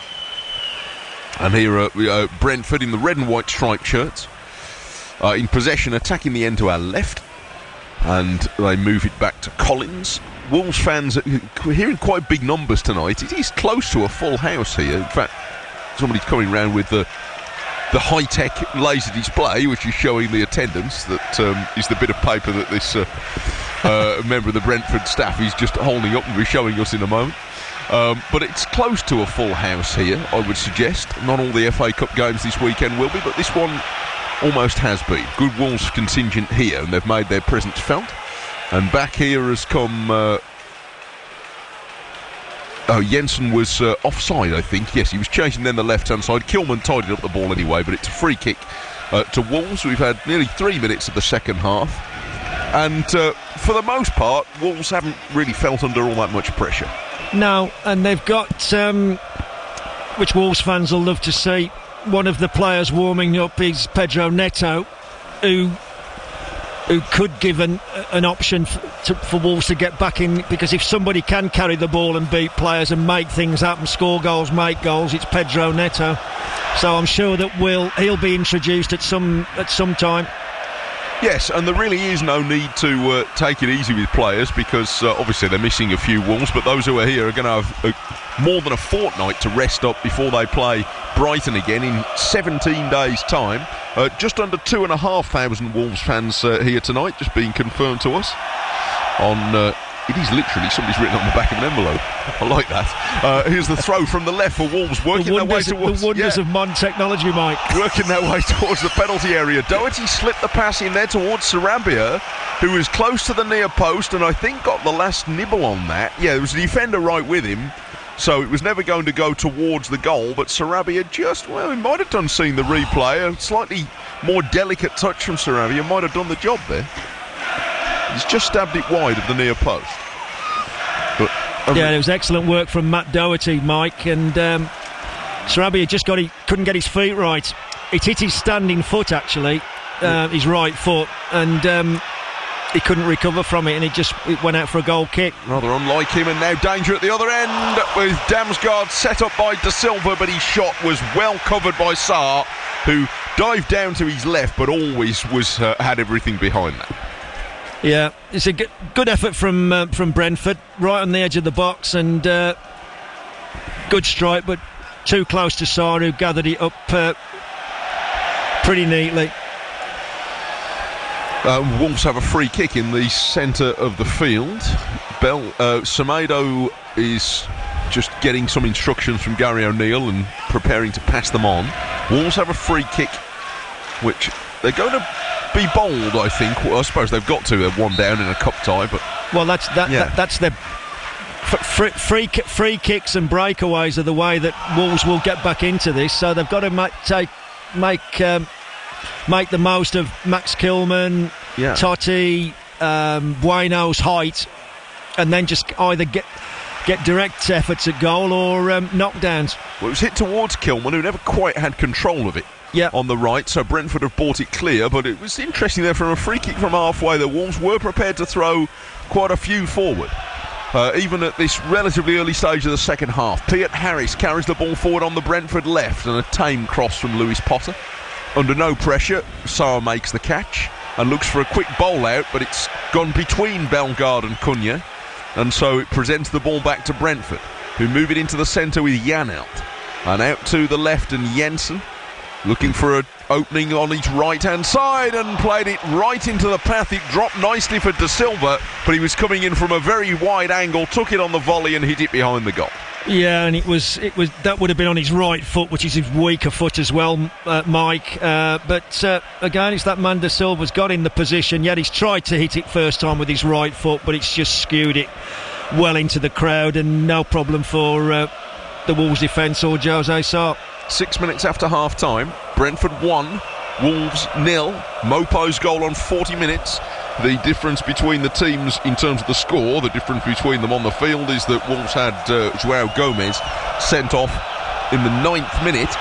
Uh, a decision which will have further consequences because he will now miss the next three league games, starting with that Brighton fixture if there was to be a replay, that would count as to one of the uh, one of the three games as well. But as it stands, he'd missed three league games.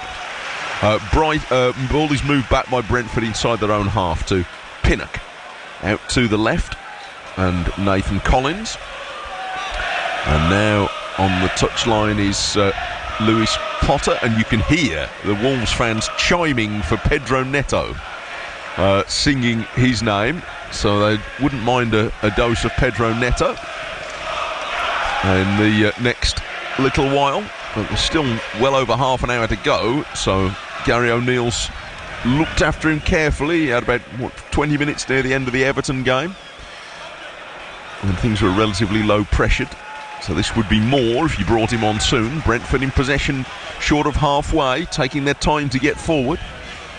Now with Zanka to the right touchline and uh, De Silva slotted in at wing back now. It's after the uh, removal of Roerslev. A pass on down the right for Peart Harris, hooking the ball across from the right, but there was nobody in the middle anyway, and it's gone behind for a goal kick. And Wolves are largely containing Brentford still. Wolves, Wo- Wo- Wolves have got to keep their shape um, and d- do a job. And knowing and having the faith that they will be able to carve chances out to get them back in the game. Wolves fans are going to get what they want because Pedro Neto is uh, ready to come on. So Gary O'Neil is going to uh, give him plenty of time to influence this game. There are still 36 minutes to go on BBC Radio WM at uh, the Brentford Community Stadium. Brentford 1, Wolves nil, and here comes Pedro Neto to replace Sarabia. So a uh, slight change of emphasis in that Sarabia is uh, quickish, but Neto, of course, as you all know, is an out and out flyer. So it'll keep Brentford on their toes. It'll have to. It will. It was a. It, it, it, he's. Um, yeah, he's going to be much, much more dangerous in getting behind the um, the Brentford defence. Sarabia, he does everything on the ball. Great left foot, but um, as you quite rightly said, Net- Neto's got that extra bit of direct pace, which is always useful. Pablo Sarabia never looks thrilled to come off. I don't mind that. No, no, I I don't, don't. want a player to I be don't. looking No. pleased to come off. No, It it's just unfortunate because he's um, he he has been one of the probably the unsung heroes of Wolves um, Wolves' good form um, because he's, ve- he's left foot and he does a lot of things that get that go unnoticed. Now, Neto brought into the equation immediately on the right, and he links up with Semedo, who gets a cross in, and it's knocked away in front of the near post by Janelt. But Neto is eager to get on with it. Yeah, he's come on this right hand side. Obviously, we know he's left footed, but he's come on the right hand side, and that's uh, side with Nelson Semedo, and he's uh, interchanged with him brilliantly there. Well, he's keen to get involved again here, and uh, finds him with the throw, and Neto's trying to take on Janelt, who he's kept the ball alive for the moment, and he dances into the challenge. No, the uh, it has just gone over the line. The linesman had a good look at that, but Neto is, looks full of beans jumping into this, doesn't he? Well, to be honest, I mean he's uh, he's got uh, so much skill, the lad, and he's um, more or less twinkle toes there, Mike. I mean, some of the stuff that he's that he's attempting, but he's he's really up for it. He's come on and he's showed intent straight away, Mike. Football ballet from Pedro Neto. Here come uh, Brentford at the other end with a, a long run to the edge of the penalty area from Lewis Potter that ends, I think, inevitably in a foul. And uh, it's going to be a free kick on the edge of the D. Lewis Potter carried the ball a long way. He started off going forwards, he ended up going sideways. Yeah, he's run across the box and kept going across the box, and I think it was Bellegarde because he was the wrong side of it. Uh, yeah, he's the wrong side of him, Mike, and he's. It's always going to be a foul because all, all that all that Lewis Potter has to do, which he did, he just slow down, and the Wolves player has to go in the has to commit that foul. But it's in such a dangerous position that um, Bellegarde's obviously made a decision. He Yeah. didn't want to let him get a get a shot off where he was going. But if he'd have known that that Lewis Potter is naturally kind of le- more left-footed than right-footed, uh, he was going away. He was going away. So, it- well, we'll know very shortly whether it was a silly free kick to give away or not. Well, the referee's been in negotiations with the wall for a while, uh, and there are three of them in it at the moment. So Brentford are going to try and get a few on that line themselves. The free kick is a whisker to the right of centre, and it's right on the edge of the D. Now, somebody's gone down in the little scrum. Bellegarde's gone down. And uh, there's a lot of it. Toti's getting very aerated about something, and uh, he wants to have it out with Maupay. That's probably not a good idea. Where's the referee in all this? He's uh, going to try and sort it out. Well, the so re- are the squabbling uh, parties. Kilman is uh, coming up and trying to say something. There was a big shout from the crowd behind the goal. The referee's coming and telling Maupay that's enough. Now he's going to find. No, it's not Toti. It's José Sá. He's, gone, he's given José Sá a big grin. Says José Sá says, "Come here." Pulls the referee back and says, "I want to tell you how it is."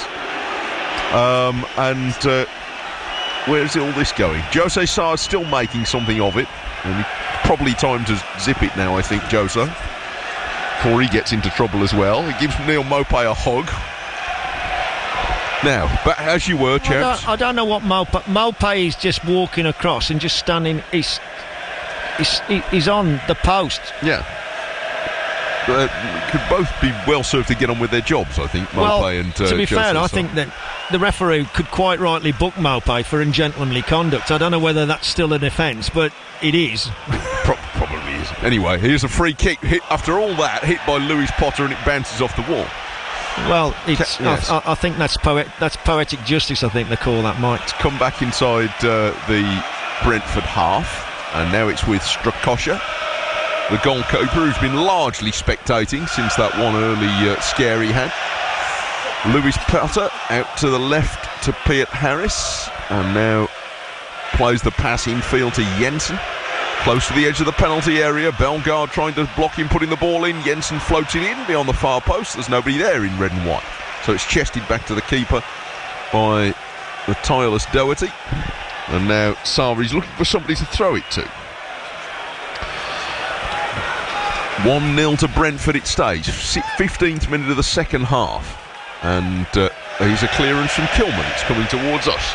And it bounces into the crowd for a throw to Brentford, which they've sent back inside their own half. It's rather a scrappy game now, isn't it? Which um, well, is which is okay because w- Wolves aren't going to. I, I, don't think Wolves are going to um, undo Brentford with a 30 or 40 pass move. No. It's going to be pretty direct. Um, and Neto, Bellegarde, or um, that man Cunha actually doing something to get Wolves back into it. Certainly not being outrun at the moment, Wolves. Lewis Potter's uh, attempt to dribble his way in from the left here uh, it came to nothing. And Wolves put the ball forward early towards Cunha and a hurried clearance from Strakosha. Yeah. Has seen it go out for a throw. And Well- that, that was caused just by Cunha. He Cunha- get within 10 yards of the ball, but he just harried them.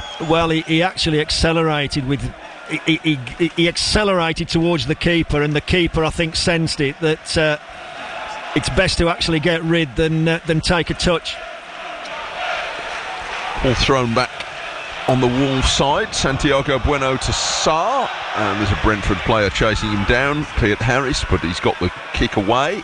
Collins heads it back into the Wolves half. Semedo's looking for Neto, but he doesn't find him. And Yeah, it's yeah. out for a Brentford throw. 16 minutes after half time on BBC Radio WM. Brentford 1, Wolves nil. Daz Hale will take your calls after the game through until 10 o'clock. And uh, also look ahead to the rest of the weekend's FA Cup games. With uh, Walsall at Southampton tomorrow, hoping to cause a shock, having avoided one when they played two non league teams in the early rounds. They've got a good one tomorrow. Uh, Hull against Birmingham City, with Blues under caretaker managership, of course. A good uh, win of the ball by Semedo. A set Wolves going forward. They've got five going forward, and Cunha carrying the ball gives it to Neto. Corner of the penalty area, and it's well defended here by Collins, who stands up straight against Neto and makes the block. Yeah, that was a really good opportunity, and that's what we're talking about. In that uh, Cunha then got got Pedro Neto involved, and um, Neto couldn't quite squeeze it through. I think it was t- back to Cunha, or I think Bellegarde was in there as well. So there will be opportunities for Wolves. There will be. Josh De Silva, who was excellent in the first half, on his first start uh, Uh, yeah. since he's come back from a hamstring injury, he's going off. Yeah, he's um, he's he's been a big hit for Brentford for me, and I think they'll take that as a massive positive going forward for their league campaign. Yes, uh, if they're going to get away from uh, trouble, he'll do some of the work. And his place is taken up by Michael Olakigbe, a 19 year old winger they got from Fulham a little while ago. Throw in from the right from Semedo, and Bellegarde's trying to make something of it. And he's won a corner. And Wolves are still buzzing. Brentford don't look entirely comfortable on their lead, I must say. Well, there must there must be that they'll be um, alerted to the fact that uh, Neto's come on. They know about Cunha, cause it, they don't want to give him any space. Bellegarde as well. He's very sharp. And then you've got the big lads up from the back um, for this And he- corner. here's the corner delivered in fast and flat by Neto, but headed away by Pinnock in front of the near post. Is it going to go out for another corner? I think it will, yes. So Neto gets another go. From the right, Bellegarde offers him the short option, but Neto wants to put it in towards the lighthouses on the far side.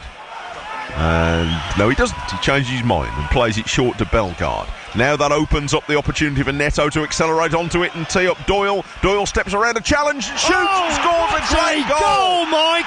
Lovely strike by Tommy Doyle and Wolves are level at 1 1. They've been playing with 10 men for most of the game, but from the set piece, they were always going to have an opportunity. It took a few moments to get it to Doyle, but he stepped around the challenger in front of him and speared his shot into the top corner, and Wolves are level at Brentford at 1 1. What a strike!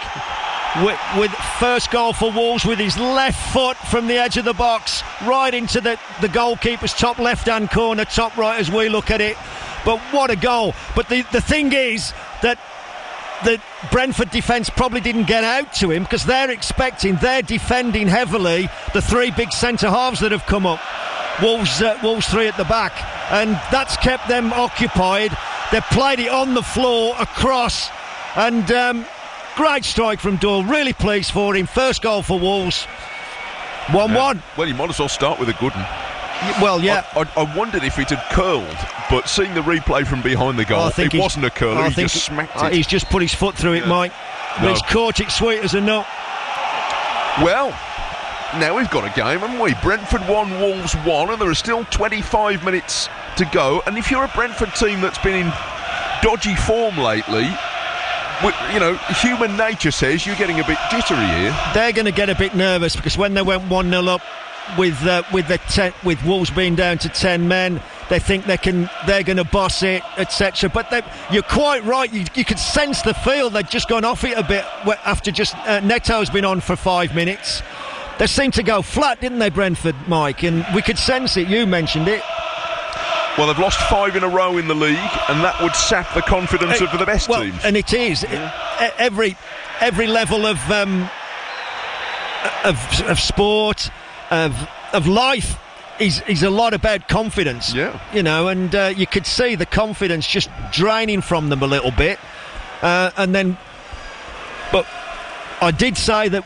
Wolves would get chances, and it's about taking them. And didn't he? Ta- didn't they take it? Tommy Doyle Great scored, strike yeah. from Tommy Doyle. Scored four goals last season for Sheffield United in uh, his loan spell that helped them to promotion, including Sheffield United's goal of the season last season. And well, there've been a few contenders for the Wolves' goal of the season this season, but that one will take its place in the final, I suggest.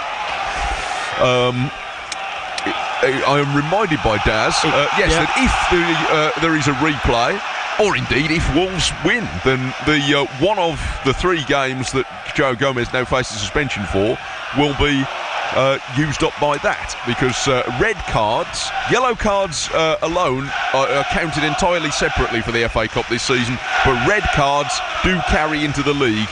And it will be a three-match uh, suspension. Because if they won the replay and then played in the fourth round, that'd be two to three. But anyway, we're getting ahead of ourselves. However, Wolves have harried Brentford into a mistake, and they've given up another corner. And Brentford suddenly look full of the collywobbles. Yeah, they do. The, the, the, the game. The game has changed since Neto came on. Actually. Yeah, well, it has. Uh, whether they, Well, he's he's getting serenaded now in that corner of the ground. By uh, he'll be hearing those chimes in his sleep. It's not a very good corner though. Uh, on this occasion, he's bounced off a defender, obligingly back to Neto. There's a couple of players having best of three falls in front of the near post. They spring back up because Neto's still got it. And now he takes on the defender, gets his cross in, deflects off the first man. And He's up for Doyle. He has to go off the right foot this time. And he hasn't got it through to the goal. He has knocked out Jensen. I don't think quite literally, but Jensen's worn that shot from Doyle, who he's just, well, at least he's shown Brentford he's quite happy to take it off either foot. Because the goal was off his left. what I what I, that was off what, I, right. what I can't get nowadays is the ball's hit him from ten yards away. It goes down, and you have to stop the game. Yeah. I, I know we look. I'm the first one to say safety of players is the overriding thing, but I've never seen that happen before in decades gone by. Never a problem. No. Well, they're going to check him out, but I think he'll be all right. These are professional footballers. Yeah. It's not as if it, it's it's not as if it's hit some some old lady uh, with you know with a bag of shopping that's just walking past and wasn't involved. I understand. Uh, anyway, he's being checked out, and Gary O'Neil, he's taking the opportunity um, to get his players over. Several of them, Kilman, Doyle, and uh, Doherty are over here. And uh, actually, O'Neil's not doing all the talking in there. Um, Shaun Derry and his colleagues are doing some of it. There are more changes in the offing, I think. But uh, it's a busy. So all the bounce is in the Wolves team at the moment. Jensen's uh, still uh, being asked if he knows what day it is, so uh, that he's going to be taking a moment. But even this break, he's not bad, I think, for Wolves just now because looking at the body language of the two teams, Wolves are, are quite happy. They're, a few of them are chatting, passing on instructions. The rest of them are on the balls of their feet, ready to go. The Brentford team all look a little bit unsure of themselves at the Well, moment. you, you you mentioned it quite rightly before the game about the the confidence and the team spirit, and you could visibly see it or feel it or taste it um, reg- at the, the, with the Everton game. Wolves have carried it on through. All credit to Brentford. Um, they've it started off. It was pretty pretty end to end stuff. Both teams ch- trying to play the, in, in their, their their way, the similar ways, and uh, but the sending off has uh, has deflated Wolves a little bit, obviously, and I think that from the reaction of some of the players as well as the, what I saw, very hard, very harsh decision by the referee, and. Um, you know, you've, you've got to you've got to look at it that way. But then, the game has turned on Pedro Neto coming on um, 10, 10, 10 minutes or so, 15 minutes into the second half. And what Wolves have, you could visibly see Wolves have got the bit between their teeth. And even the few minutes before they actually got the equaliser, it was all Wolves. It wasn't. It was not a breakaway, as I said it would No. be. They actually sustained pressure for a few minutes. Now, uh, Jensen got up and walked away from that incident, but he is being replaced. Um, so he's coming. He's walked off uh, unaided to the near touchline, and there are going to be, I think, two changes for Brentford, and there there are folders and papers and all sorts being used to explain. One of the uh, substitutes, Yehor Yarmoliuk, is being asked to look at two different pieces of paper at the same time. Uh, so he's coming on. Also coming on is Shandon Baptiste, but not not yet, evidently. Jensen's already walked off, but neither of the subs has come on. So Brentford, to my reckoning, are playing with. Uh, let's have a quick count up. Yeah, there's only 10 of them on the field at the moment. So I don't quite know what happened there. Jensen's gone, and uh, presumably not to return. I, mean, I suppose he could be a. He could come back because they haven't actually substituted him yet. Uh, Brentford go out to the right, and Damsgaard chips a ball over the top, and Sá's got a, his eye on that all the way, and he's going to gather it up. So the fourth official's going to announce soon uh, uh, all these changes. But Brentford won, Wolves won, and it's the 10 men who have the momentum at the moment after Doyle's splendid goal on 64 minutes. Clearance from hand from uh, Sá falls towards Bellegarde. And now Doyle chips it over the top and asks Cunha to chase. Defender was favourite, but now Bellegarde's nipping in there again, and Wolves look full of running, and Bellegarde giving Pinnock the hurry up there. Has to get his back pass away to Strakosha, who clears it, and Kilman comes and commands the ball on halfway and plays a great pass to Neto, right side of the penalty area. Neto up against two, back to Kilman. Will captain shoot? He does, but he can't curl it. well, that would have been a nice one for the Wolves captain, who scored against Everton last week, of course, and uh, well, it's a sign of Wolves' growing confidence. He's decent when he gets the ball and brings it forward, uh, Max. You can't take any uh, liberties with him. But he couldn't quite curl it into the far corner there after excellent work from Pedro Neto again. Uh, now, substitutions. Zanka has gone off and been replaced by Yehor Yarmoliuk, the uh, Ukrainian player. And uh, also coming on is Shandon Baptiste, and he has replaced Jensen. So Baptiste, I would imagine, will go into the back three. And uh, Yarmoliuk, presumably, will go into midfield instead of Jensen. And we've got 17 minutes and added time to go, and it's Brentford 1, Wolves 1. And as it stands, we're going to have a replay, presumably the week after next. So I don't know exactly what date Wolves are going out to uh, their warm weather training camp, but I, I assume they'll, presumably they'll have factored that in. Um, to, because they don't have a league game until January the 22nd. But I would imagine that the replay of this, if it goes on to be a replay, and we're some way away from that yet, but if it is, then it'll be on, I would think, Tuesday the 16th. Would be the most likely date, but we'll see. Anyway, we're not there yet. Um, Brentford are in possession on the left, and Lewis Potter getting a return pass, but Bellegarde with a full, uh, Semedo with a fully committed challenge and a well-timed one as well. Now Semedo did very well there. He's um, his overall game has been has been absolutely top notch, and uh, another excellent excellent piece of defending there from Semedo. Continuing a first-rate season, I think, in most Wolves fans coming in. Yep. Se- uh, 29 minutes of the second half have gone by on BBC Radio WM. Brentford 1, Wolves 1 in the FA Cup third round. And here's Doyle. Score of a very tasty Wolves goal. With a free kick high towards the edge of the Brentford penalty area, it's headed away, and then Maupay's fouled, so Brentford are going to Yeah, I have a free kick. Nelson Semedo used all his experience and uh, made sure that Maupay was going nowhere. And he knew that he was going to give a foul away, but he did it in such a way that um, he wasn't going to get a card for it. In. Yes. So it was very clever. Fulham 1, Rotherham nil, and Tottenham but nil, Burnley nil are the other FA Cup uh, games at the moment. The Tottenham game's at half time. The Fulham game is about a quarter of an hour behind this one. So uh, they're all kicked off at different times. For I'm sure there's very good reason for it. Out to the left is Janelt uh, for Brentford, halfway inside the Wolves half. As with Lewis Potter. Now back to Pinnock. Across to Baptiste, the one of the new arrivals, and the ball's lost by the other one, Yarmoliuk. To Neto. Spins against one challenge and then collides with Damsgaard and tumbles over. It's going to be a free kick. Pedro Neto, he's. I can't tell you how much he's obviously enjoying being out in the field again. I suppose You can see him. He's Yeah. he's, uh, he- he's really enjoying it. He's like a kid in a sweet shop. He's just running around, uh, wanting to do as much as he can.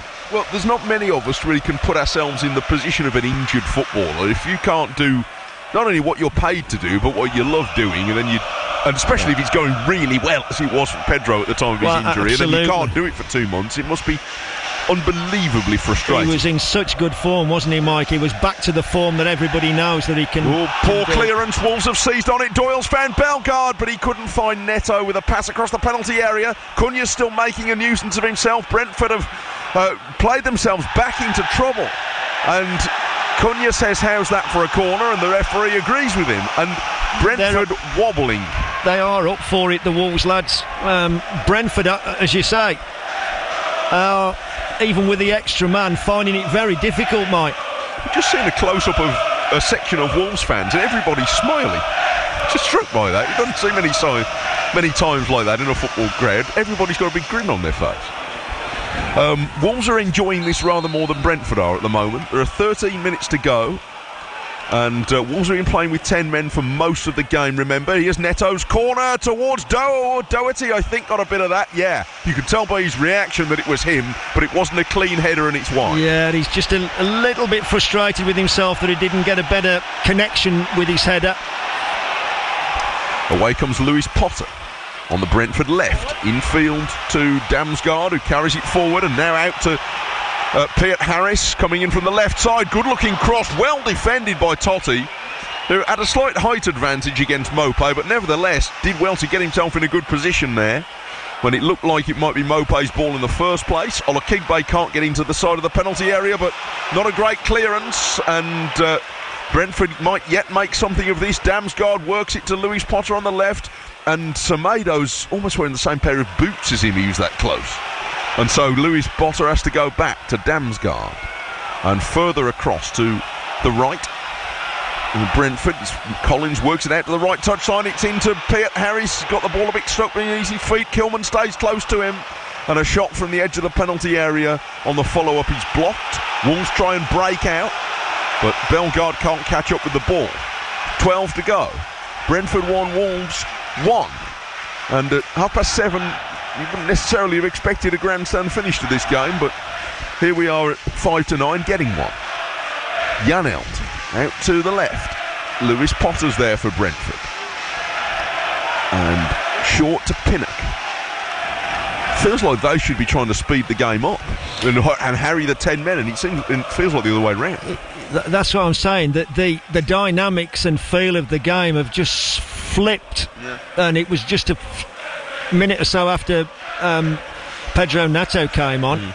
And I don't think it was completely him, but it's just No. that the, the overall dynamic changed and Lifted the Wolves have been in the ascendancy. They have, but Leah's Lewis Potter putting a cross in. Maupay trying to chest it down, but it sort of bounced off his chest as if he was wearing a breastplate. It sort of cannoned away. and there will be op- there will be situations there will be situations as we've got now where Brentford will have the ball uh, and they will they will because they've got the extra man have the opportunity to get it into the box.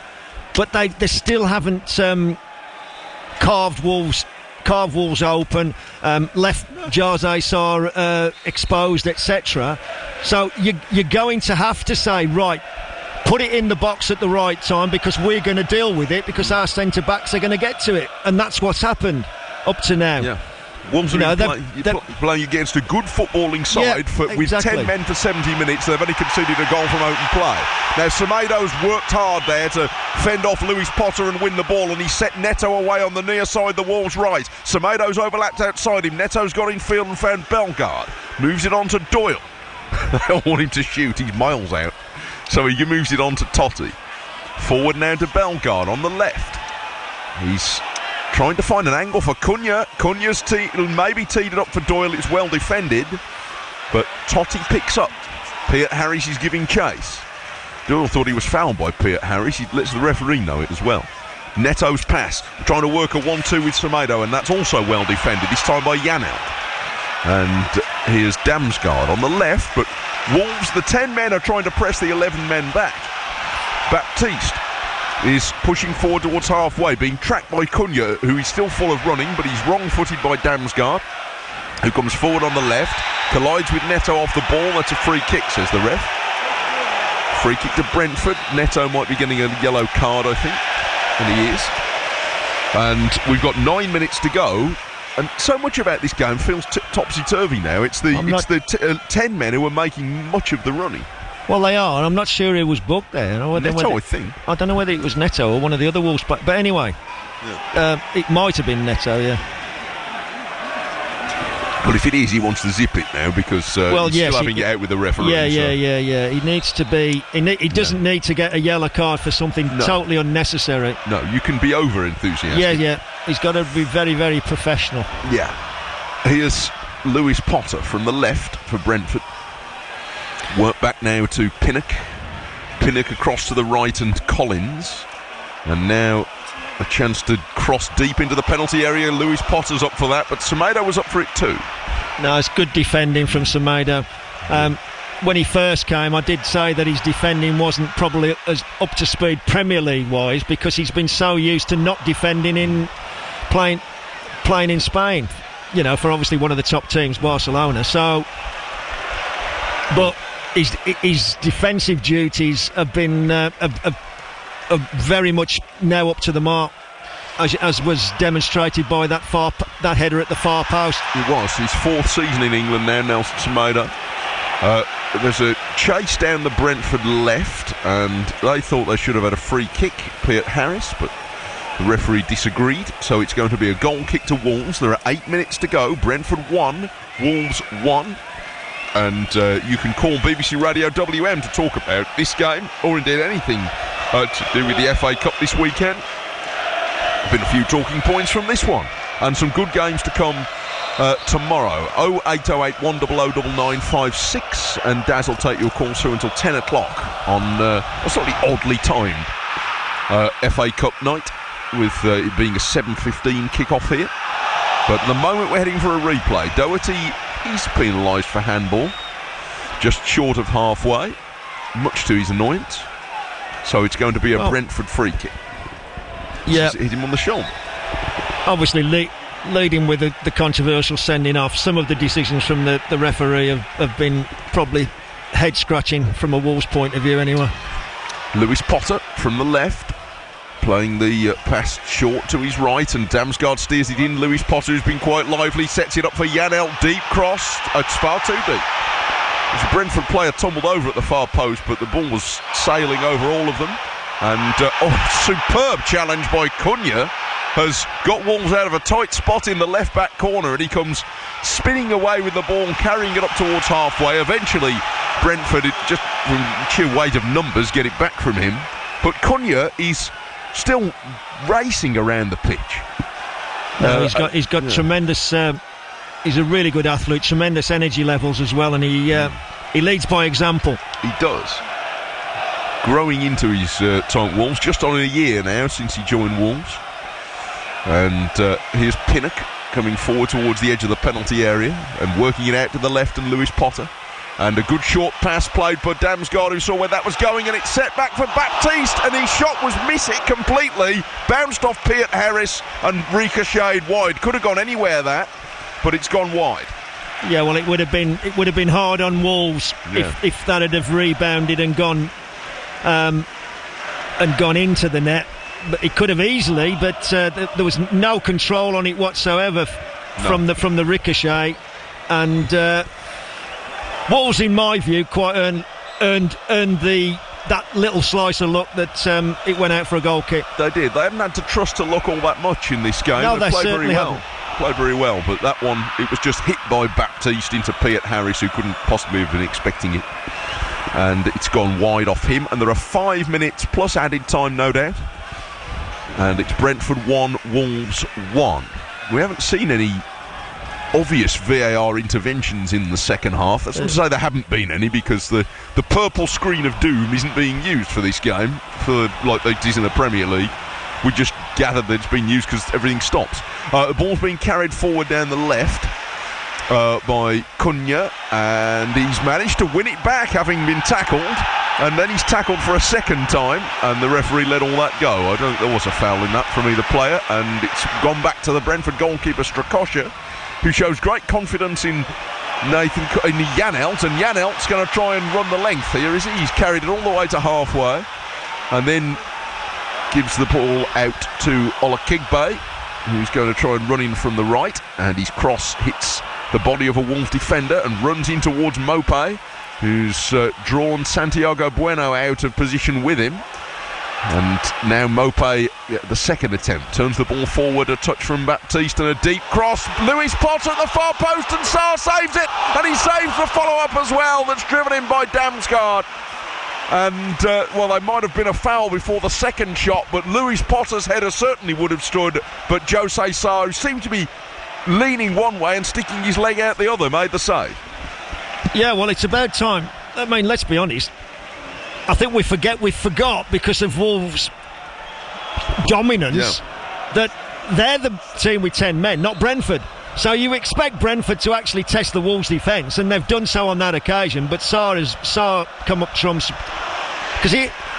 Let's be honest, he, José Sá hasn't had that much to Not- do, and you would expect him to have had at least crosses to deal with and, and incidents to deal with, but he hasn't. He's made three or four routine saves. yeah. He certainly hasn't done anything spectacular, but that that was again. I think he would think that was at least an eight out of ten job to save that, but he did it, and uh, it is still one-one, and there are three minutes to go. Lewis Potter, perhaps been the best Brentford player in the second half, play, sends a pass in field, but Kilman stole it and immediately released Neto. Neto's trying to run Pinnock into the penalty area. Pinnock gets a toe on the ball, and it's a corner, and Neto made 50 yards there. Brilliant run. They were fr- frightened, uh, frightened stiff of uh, Neto, especially when he got in the box, and Pinnock was very careful. But um, Pedro Neto was looking, and there wasn't because he was so quick getting into the box from probably just inside the, uh, the, the Brentford half. Nobody, I think Bellegarde was breaking a neck to get up with him, but nobody was there, and he had to then. T- that's why he turned back and tried to do it again uh, because there was nobody to pass to. He had four defenders chasing after him. On the end Yeah, the, the four defenders weren't the problem. He just wanted, he just he was just looking for somebody to, to get the ball to. From the short corner, Doyle tried to slip a pass into the Bellegarde right side of the penalty area, but it broke down. Brentford would like to attack from deep, but Wolves have held them up. And, Yeah, they've held oh, them up very well. So that's the, the front two have earned time for everybody else to get back into position, and there are two minutes and added time left. And in from the right come Brentford. Short pass played to Mope, and there are men over here. Damsgaard on the left trying to get it onto a, a shooting angle. He can't. As again, Semedo stuck to him. Now it's worked back to Janelt. Crosses to the right hand side of the area. Peart Harris was up for it. It's a header won by Toti and it's a corner to Brentford. Now Toti stood his ground very well. The, the, the three centre backs have been uh, pretty immovable up to now. They've done their job. Short corner with 75 seconds and added time to go. And 1 1 in the third round of the FA Cup, and a poor cross resulted from it. And that's a foul on Cunha, is it? No. Referee says no, it isn't. And Brentford are coming forward again. Cunha was trying to bring it out of defence. Suddenly, Wolves are backpedaling. Pinnock fires it in from the left side of the box. Wolves have men back to block. And it comes out to Lewis Potter. Forward to Pinnock, who's still forward from the previous set piece. Finds Janelt. Janelt floats this beyond the far post. It's going to be a goal kick. Wolves standing up to it. They are, Mike. Um, I think we're all. Uh, Cunha's having a uh, having quite rightly having a word with the referee because he was he was barged off the ball, Mike. Looked like he I was dragged back. I cannot, unless the referee. The only thing is the referee might have had his back to it, which he shouldn't have done. But um, it's a terrible Yeah. decision. We're going to get a Wolves debut here uh, in first team football for Tawanda Chirewa, a 20 year old they signed from Ipswich. Uh, just before the last transfer deadline, he's going to replace uh, Jean-Luc Bellegarde. Uh, he's been on the bench a few times uh, lately. Made three first-team appearances for Ipswich, having made his first-team debut for them at just turned 16. So uh, he's been on the boil for a bit at Ipswich, and now he gets a chance to come on Well, with good- five minutes to go. Good luck to the young man. Yeah. I hope he uh, let's hope, hope he can make a real impact. But uh, congratulations to him. I'm told they really reckon him. Uh, to Ander Well- where he's impressed O'Neil. He came in just after Gary O'Neil was appointed, but I, I, I know Well- he's caught his eye. Well, he's got to impress Gary Gary O'Neil because the the position the game's in, um, you know, it's on a knife edge here. So he's got to trust the lad. So um, well, it's a nice chance to be a hero, isn't it? Well, it's a smashing chance for the for the young man. Yeah. Well, good for him. And we're into five minutes minimum of added time. We've had 45 seconds of it. Wolves have the ball inside the Brentford half, and it's a throw, which Doherty takes. Doyle returns it to him, and Doherty wins another throw. A replay in the offing at Molyneux, a week on presumably Tuesday or Wednesday, although that would remain to be seen. And Doyle plays a pass which deflects just away from Doherty.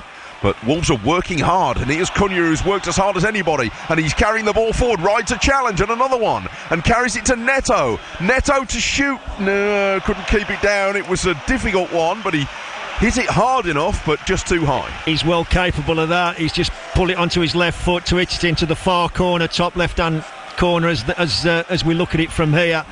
But uh, you could, he knew what he wanted to do straight away, but it just bobbled up just as he hit it. Win, lose or draw, the really good news from tonight is that Pedro Neto is back. He had a bit of a run out against Everton in a game that was already pretty much done.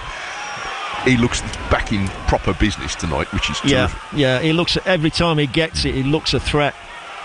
So that's a big plus. Now the ball played short into the Brit- Wolves penalty area. Maupay's trying to work it through. Chirewa was back there to help win it.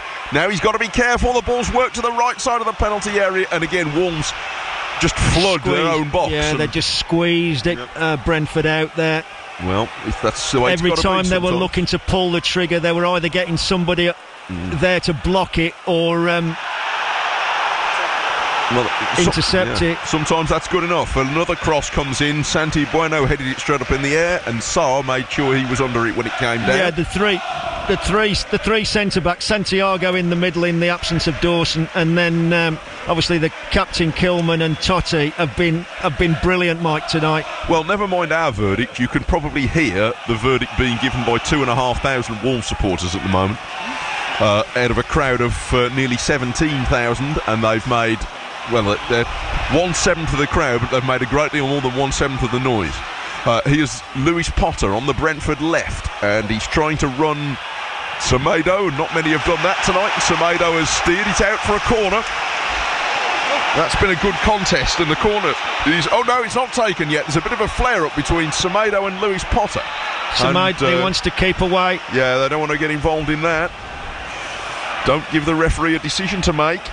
And Wolves look a bit worried here.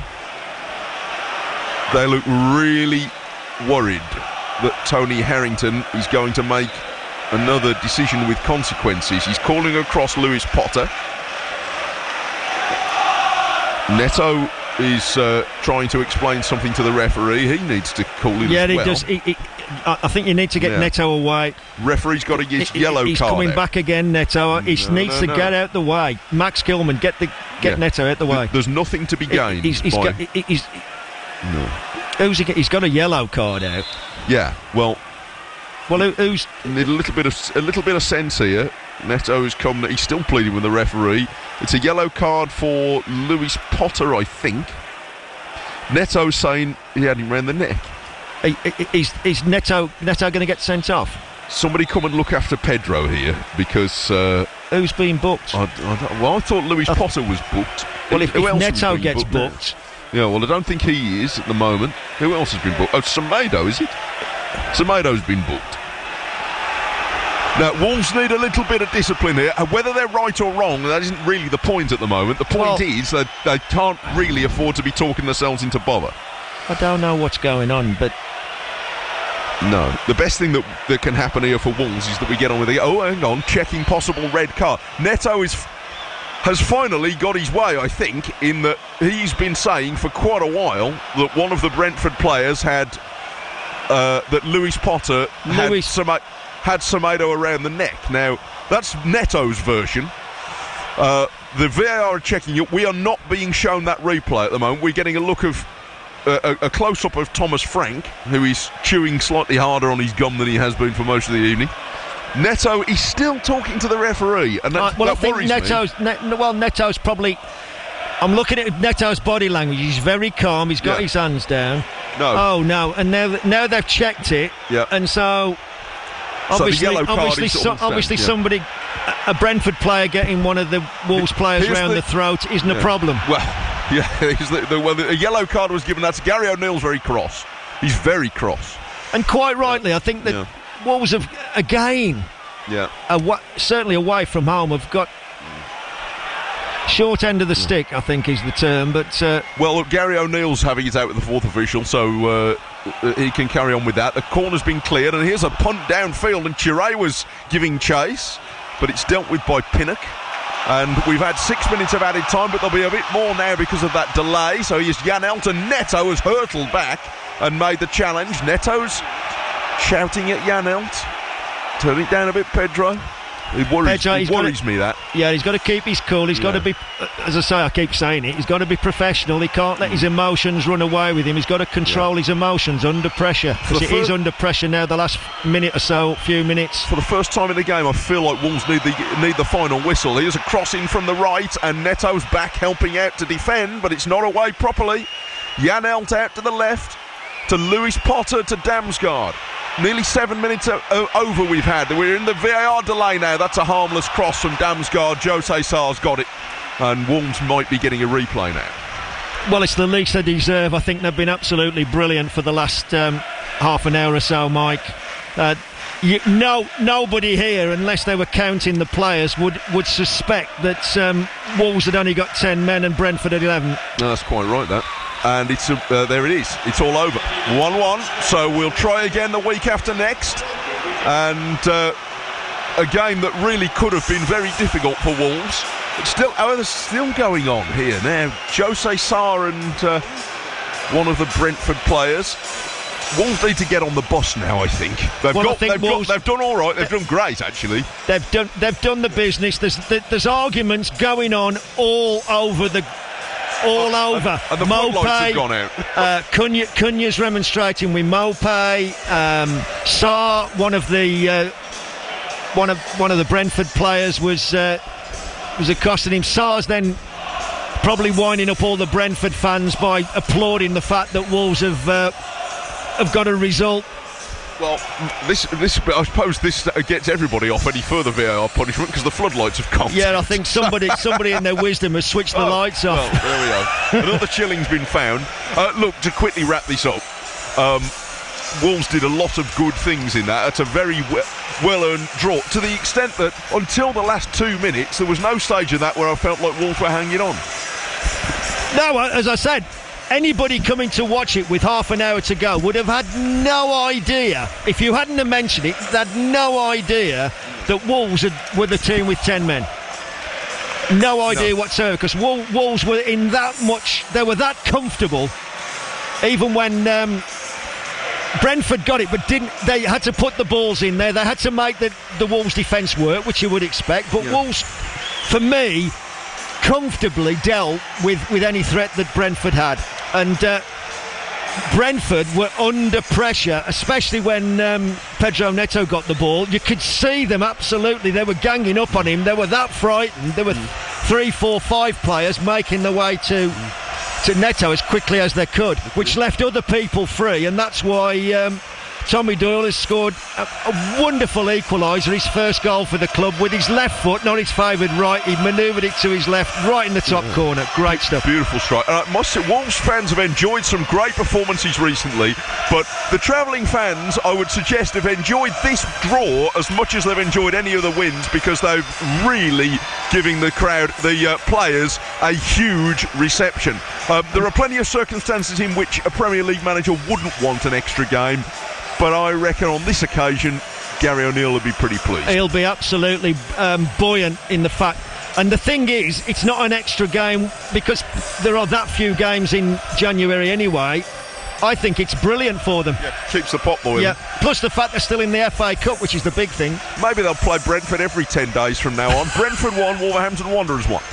A performance to be proud of, Mel Eves, would you say? Oh, absolutely. Very proud, very proud to be. Uh, to have golden black running through my veins, Daz, as you are. And um, no, fantastic the way they come back. Last half an hour, as I said, the, the, the, the performance was summed up by. You would have thought Brentford had got the had got a, a man fewer, and it was. Um, it was such an outstanding display. When when Pedro Neto came on, I think it gave a lift to the whole Wolves team. In fact, and uh, they took they took the fight. Then instead of just concentrating on the counter attack, they actually were dominant for the for the last 30 minutes. I thought it was an excellent performance, and the Wolves Wolves fans will go away from here really really pleased after at half time feeling feeling the, that they were the victims again of a poor decision. Mm, sense of injustice there was, but Wolves played pretty much the entire match with 10 men and battled back at Brentford to earn a replay. 08081 009956. Mel Eves and Mike Taylor, our commentary team there at Brentford. We'll get dressing room reaction from Gary O'Neil between now and 10.